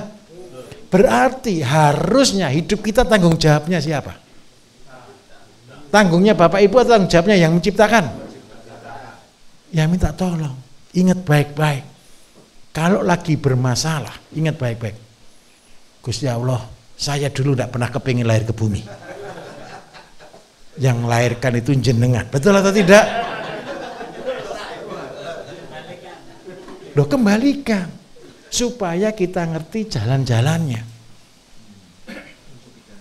Jadi ketika Bapak Ibu bermasalah dengan pekerjaan, bermasalah dengan apa pun, duduk diam. Dengan santai bilang, saya dulu tidak kepengen lahir ke bumi kok. Tolong, kalau saya lagi jalan buntu, tolong dikasih jalan keluar. Percayalah Bapak Ibu, itu doa yang paling mujarab. Coba ya ketika sholat Bapak Ibu, ya syukur-syukur mau tahajud lah. Ambil waktu itu, renungkan. Bilang betul, saya tidak kepingin lahir ke bumi. Kalau jenengan yang pilih saya lahir ke bumi, tolong tunjukkan jalan apa yang harus saya lakukan. Saya minta maaf. Bapak Ibu sampai usia segini tujuan lahir ke bumi sudah tahu belum? Jangan salah loh eh. Kalau belum tahu tujuan hidup nanti kalau meninggal ditanyai. Sudah selesai belum pekerjaannya? Terus jenengan bilang, pekerjaan yang mana ya? Waduh, kacau dunia kalau begini Bapak Ibu. Ini sepele. Tapi ini benar. Orang itu banyak bingung mencari tujuan hidupnya. Mereka tidak tahu tujuan hidupnya. Saya minta maaf, ini saya ceritakan jujur ini, saya ceritakan jujur. Saya punya teman satu ini, konglomerat satu ini betul-betul saya bangga punya teman dia. Orangnya sudah kaya raya Bapak Ibu, betul. Saya punya dua orang yang teman konglomerat itu dua ini. Tapi saya betul-betul bahagia sekali ketika dia ketemu dengan destininya, tujuan hidupnya. Kalau yang satu di Bos Malang itu tujuannya kepengen cuma satu. Tahun 98 dia cerita ke saya. Dia keliling dari desa ke desa ngajari orang tanam SRI. Tahu SRI enggak? Itu modalnya dia datangkan profesor dari Jepang, datangkan pembicara dari mana-mana, ngajari POC, ngajari pupuk, itu dia, uangnya dia. Mobil mewahnya dia, isinya pupuk. Keliling tiap desa, ke mana-mana, tidak dipercaya orang. Sampai kalau dia marah begini, sudah, tanahmu tak sewa, tak kasih modal kerjakan, ikut cara saya. Ya sudah, itu kalau sudah marah Bapak Ibu. Terus akhirnya dia gagal, dia putus asa Terus kemarin dia kecelakaan. Ke tol, di tol itu Bapak Ibu dia kepreset di kamar mandi. Tulang punggungnya ini retak. Dia komitmen katanya Pak Bayu saya mau ikut Pak Bayu dua hari saja boleh di mana di mana Pak Bayu tinggal saya kejar pokoknya gitu. Gara-gara kecelakaan saya berkata alhamdulillah. Jadi tidak kebebanan. Setelah itu gara-gara dia kecelakaan, saya bilang ke dia, Pak, saya merasa Bapak punya pekerjaan deh. Apa pekerjaan saya sekarang saya cuma bisa tidur saja. Tolong bantu jawab Pak di grup WA pertanyaan teman-teman. Sekarang Bapak Ibu dia paling aktif menjawab dan bahagia sekali. Kenapa? Terus dia bilang ke saya begini, ini tujuan hidup saya Pak. Saya bisa berbagi ilmu semuanya. Bayangkan, semua teori saya dia buktikan. Tidak nanggung-nanggung Bapak Ibu. Dia kemarin punya 4 hektar. Dia bilang tidak cukup Pak tanahnya, saya beli lagi. Ya tidak apa-apa, uangnya tidak ada serinya. Jadi Bapak Ibu kalau sekarang ini punya tukang jawab, nanti kan Bapak Ibu tergabung di grup alumni, beliau yang jawab. Bukan saya. Karena saya tidak punya handphone. Kalau yang jawab saya kan lewat admin, kalau beliau langsung dan dia sudah praktek. Misal saya kasih contoh, uji lab, besok kan Bapak Ibu kan buat pabrik pupuk nih rencananya, betul kan? Saya lo tidak pernah ngelabkan pupuk yang saya buat. Fair. Tapi beliau ngelabkan setiap bed. Ngerti ngelabkan setiap bed ya? Setiap produksi di lab, setiap produksi di lab. Jadi kurang apa, kelebihan apa dia cerita semuanya. Saya sampai heran, cari apa orang ini? Siapa yang diuntungkan Bapak Ibu? Semua teman satu grup. Betul atau tidak? Jadi ketika teman-teman produksi punya acuan uji lab. Kayak tanam, teori baru. Baru aja saya diupload di YouTube. Dia langsung buat. Nah karena itu dia menemukan destininya. Apa destininya? Mengajar banyak orang. Menjadi bermanfaat bagi banyak orang di bidangnya. Padahal pekerjaannya tambang dan kayu. Sekarang ini gara-gara ekspor sepi, 40% karyawan kayu disuruh bertani. Tahu golnya dia. Semua karyawan dibilang gini, kalian tidak akan terus ikut kerja ikut saya. Tapi kalau kalian bertani dengan sungguh-sungguh, ketika kalian keluar dari perusahaan ini, kalian sudah jadi pengusaha semuanya. Keren tidak? Dan dia menjadi bangga. Karena itu saya minta tolong, mudah-mudahan panggilannya Bapak Ibu bersama dengan saya bangun pertanian Indonesia. Dan pesan saya satu, tolong diajarkan ke banyak orang. Yang penting satu, ketika Bapak Ibu bersemangat bercerita, bersemangat mengajar, bersemangat untuk berbagi, itu kemungkinan adalah destininya Bapak Ibu. Paham maksud saya? Oke, sesi terakhir dari sebelah sini.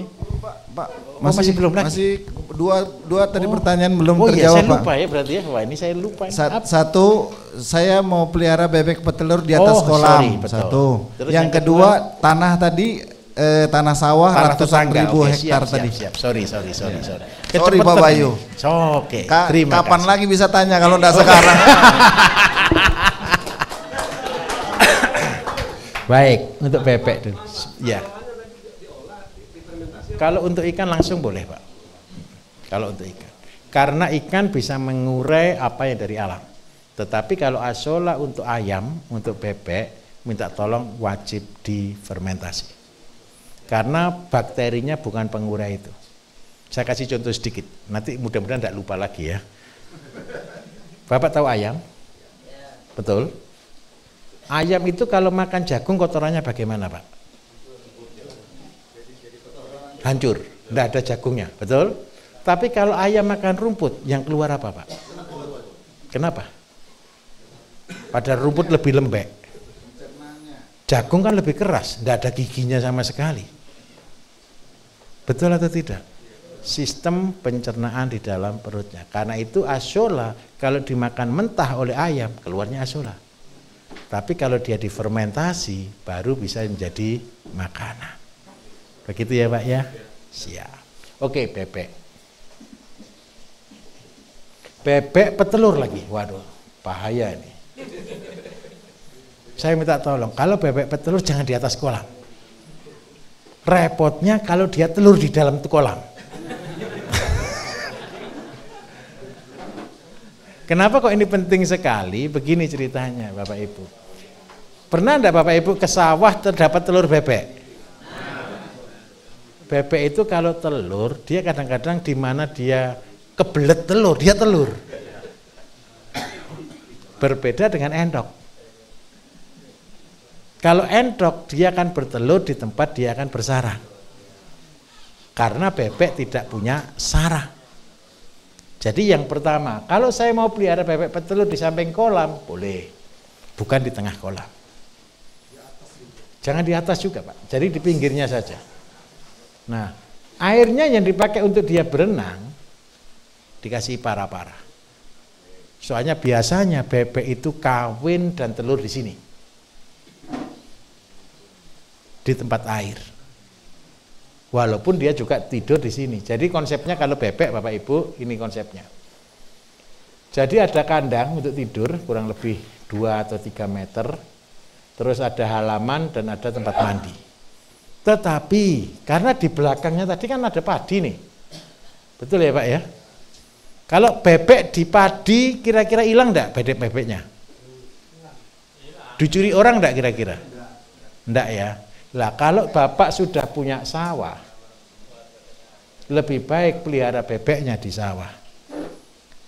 Ukurannya berapa? Per satu hektar 50 ekor.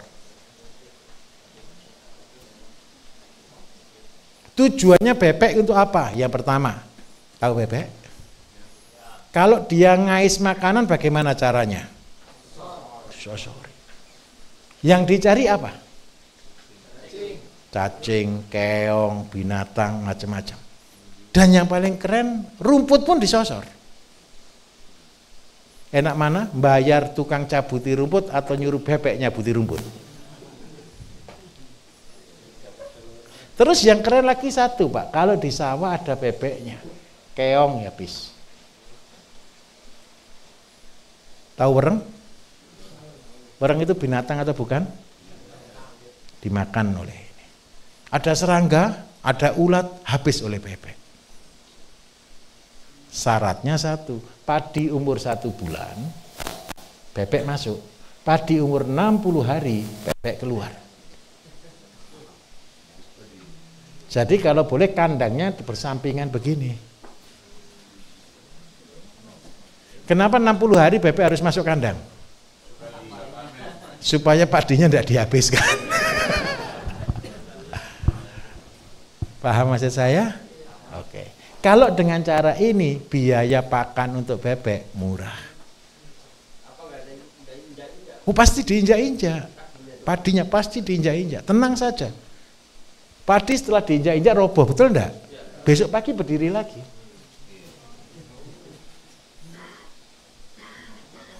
Ada orang bilang, lupa padinya rusak. Enggak apa-apa rusak. Besok berdiri lagi. Pernah injak-injak padinya orang?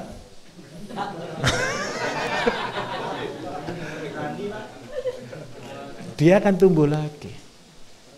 Dan ini hebatnya, padi itu ketika dia dirobohkan gini anakannya tambah banyak. Ini kerjaannya siapa? Kerjaannya bebek. Tapi perjanjian ya satu hektar cuma 50 ekor ya, jangan 500 loh ya. Kalau 500 nanti tidak kelihatan padinya. bebek semua. Nah, Caranya bagaimana? Kandang harus di sampingnya ini. Masalah terbesar Bapak Ibu untuk mengatasi ini adalah keong gitu loh. Sama walang. Tahu walang? Walang itu kan makan daunnya padi. Tapi kalau ada bebek, percayalah Bapak akan tidak akan sabar nyari walang satu-satu. Bebek itu bisa ngejar dan berseluncur di air. Gini, ketika kita punya ini Bapak Ibu, ini kan cukup umur semua ini ya apalagi dengan anak, dengan cucu besok kita ke depan itu wah bahagia sekali. Apa yang kita ajarkan dengan cara ini? Sistem simbiosis mutualisme. Terus yang kedua, supaya rumput tidak tumbuh, tanami asola. Siapa yang akan menghabiskan asola nanti? Bebek.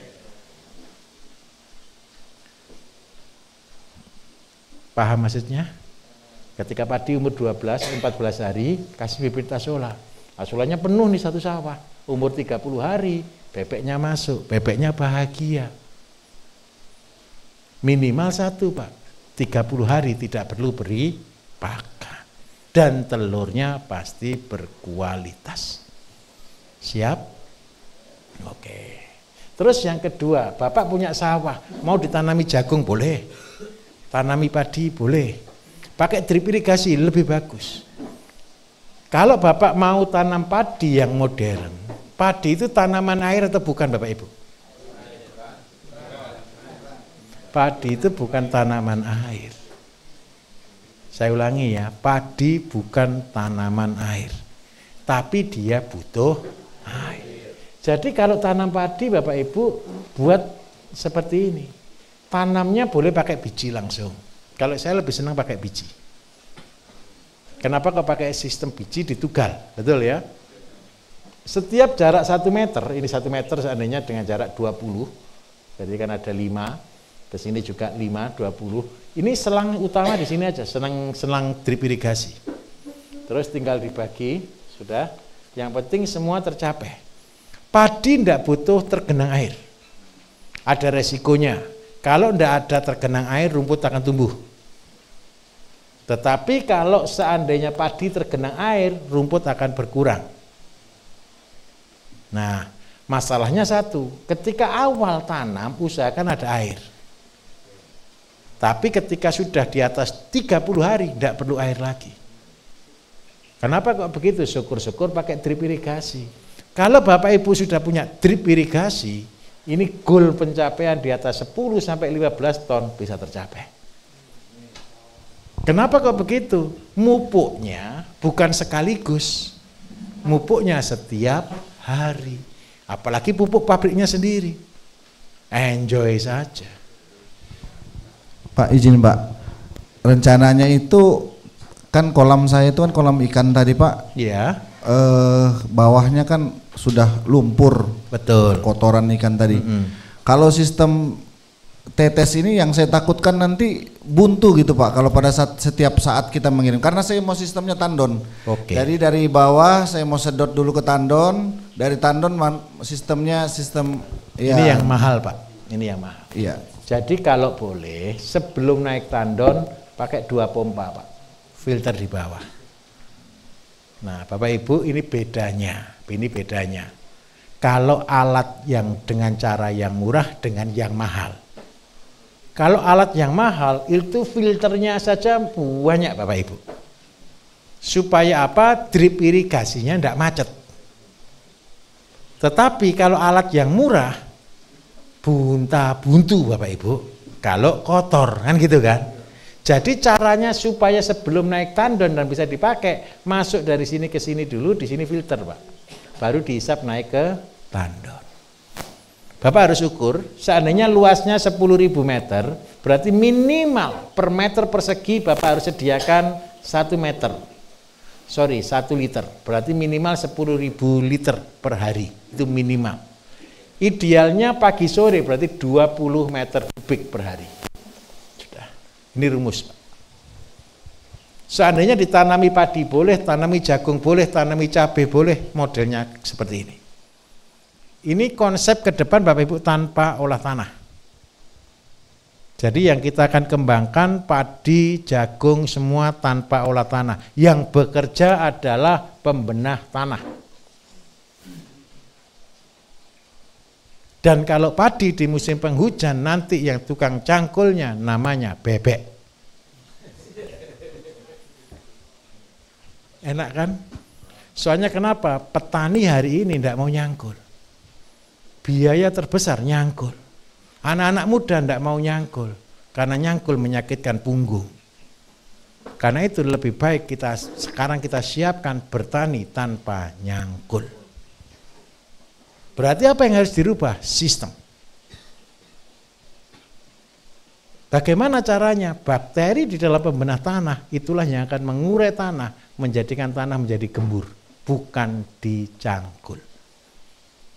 Nah, nanti Bapak Ibu praktek ketika sudah mulai buat pembenah tanah di tempatnya masing-masing, lihat tanahnya subur atau tidak, gembur atau tidak, begitu ya. Oke, satu pertanyaan lagi. Oke. Pak, satu lagi Pak. Oke, alhamdulillah masih ada lagi. Satu lagi. Jadi gini Pak, kan tadi letak letak anu, tanaman sawah tadi itu kan di sebelah dari kolam. Kolam saya itu rata-rata setengah meter sampai sa- di atas setengah meter lah. Itu sudah lumpurnya yang berbau, berarti kan Baik. kotoran dari ikan. Kalau itu misalnya saya sedot pakai domping terus saya siramkan tanah tadi itu untuk sebagai pengganti pembenah tanah apakah bisa Pak? Jangan. Tidak boleh, Pak. Mau jadi orang kaya. Kalau punya tambak Bapak Ibu ini saya tunjukkan. Lumpurnya tambak lebih mahal dari tambaknya. Tahu lumpur? Baunya bagaimana? Warnanya apa?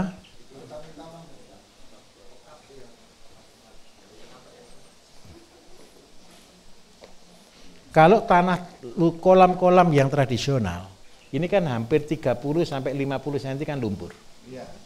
Ini Bapak Ibu kalau mau sedot, tampung. Setelah ditampung, diolah menjadi pupuk orti.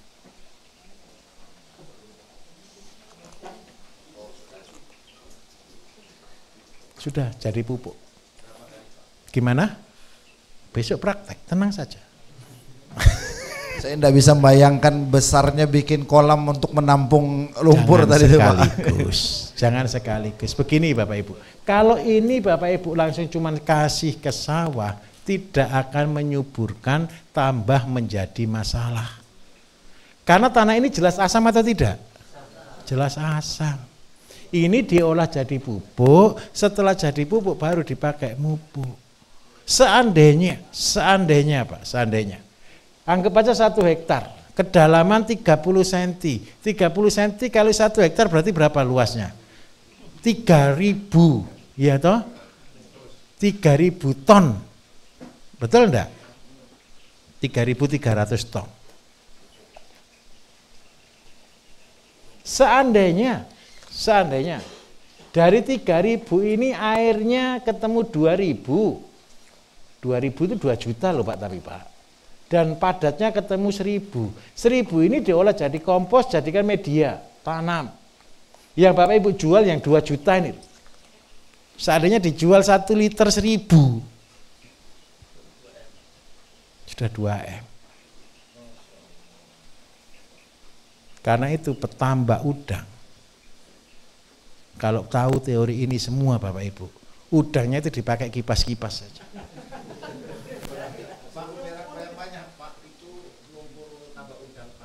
Iya Pak, sama dengan ini caranya. Udangnya satu hektar satu tahun belum dapat kok 500 juta. Iya, limbahnya satu tahun saya pastikan 500 juta ke atas. Apalagi tambah udang yang mengandung protein tinggi.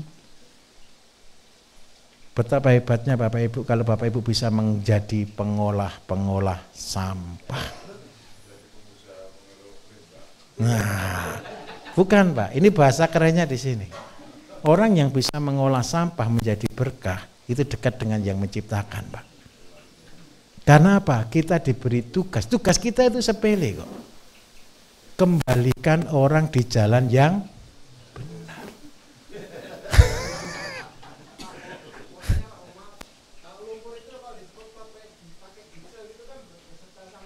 Iya. Dindapkan dulu. Dindapkan dulu. Iya. Tidak perlu disaring. Lumpur itu ditaruh aja mengendap sendiri. Airnya diolah jadi pupuk orti yang padatnya nanti jadi media tanam. Yang dijual airnya. Airnya tinggal dicampur apa? Ini bakterinya Bapak Ibu, kalau Bapak Ibu tahu bakterinya ini, ini adalah nitrobakter. Nitrobakter. Bapak Ibu tinggal kasih sesuatu. Seandainya kasih lakto jadinya nitrobakter plus lakto. Kasih humus jadi nitrobakter plus humus. Dan ini adalah penyubur tanah nomor satu. Ingat enggak konsep saya buat pembenah tanah? Ambil lumpur. Yang kita ambil apa? Nitrobakternya. Tapi kalau nitrobakter ini tidak terurai, NH4 yang terjadi Bapak Ibu racun. NH4 ditambah nitrobakter keluarnya NH3. NH3 makanan ikan, pupuk. Jadi dikeluarkan dulu, diolah dulu dari racun menjadi berkah. Kalau tidak diolah, ya mati tanamannya. Paham di sini? Iya, dan padat. Loh. Lumpurnya tadi. Tenang saja.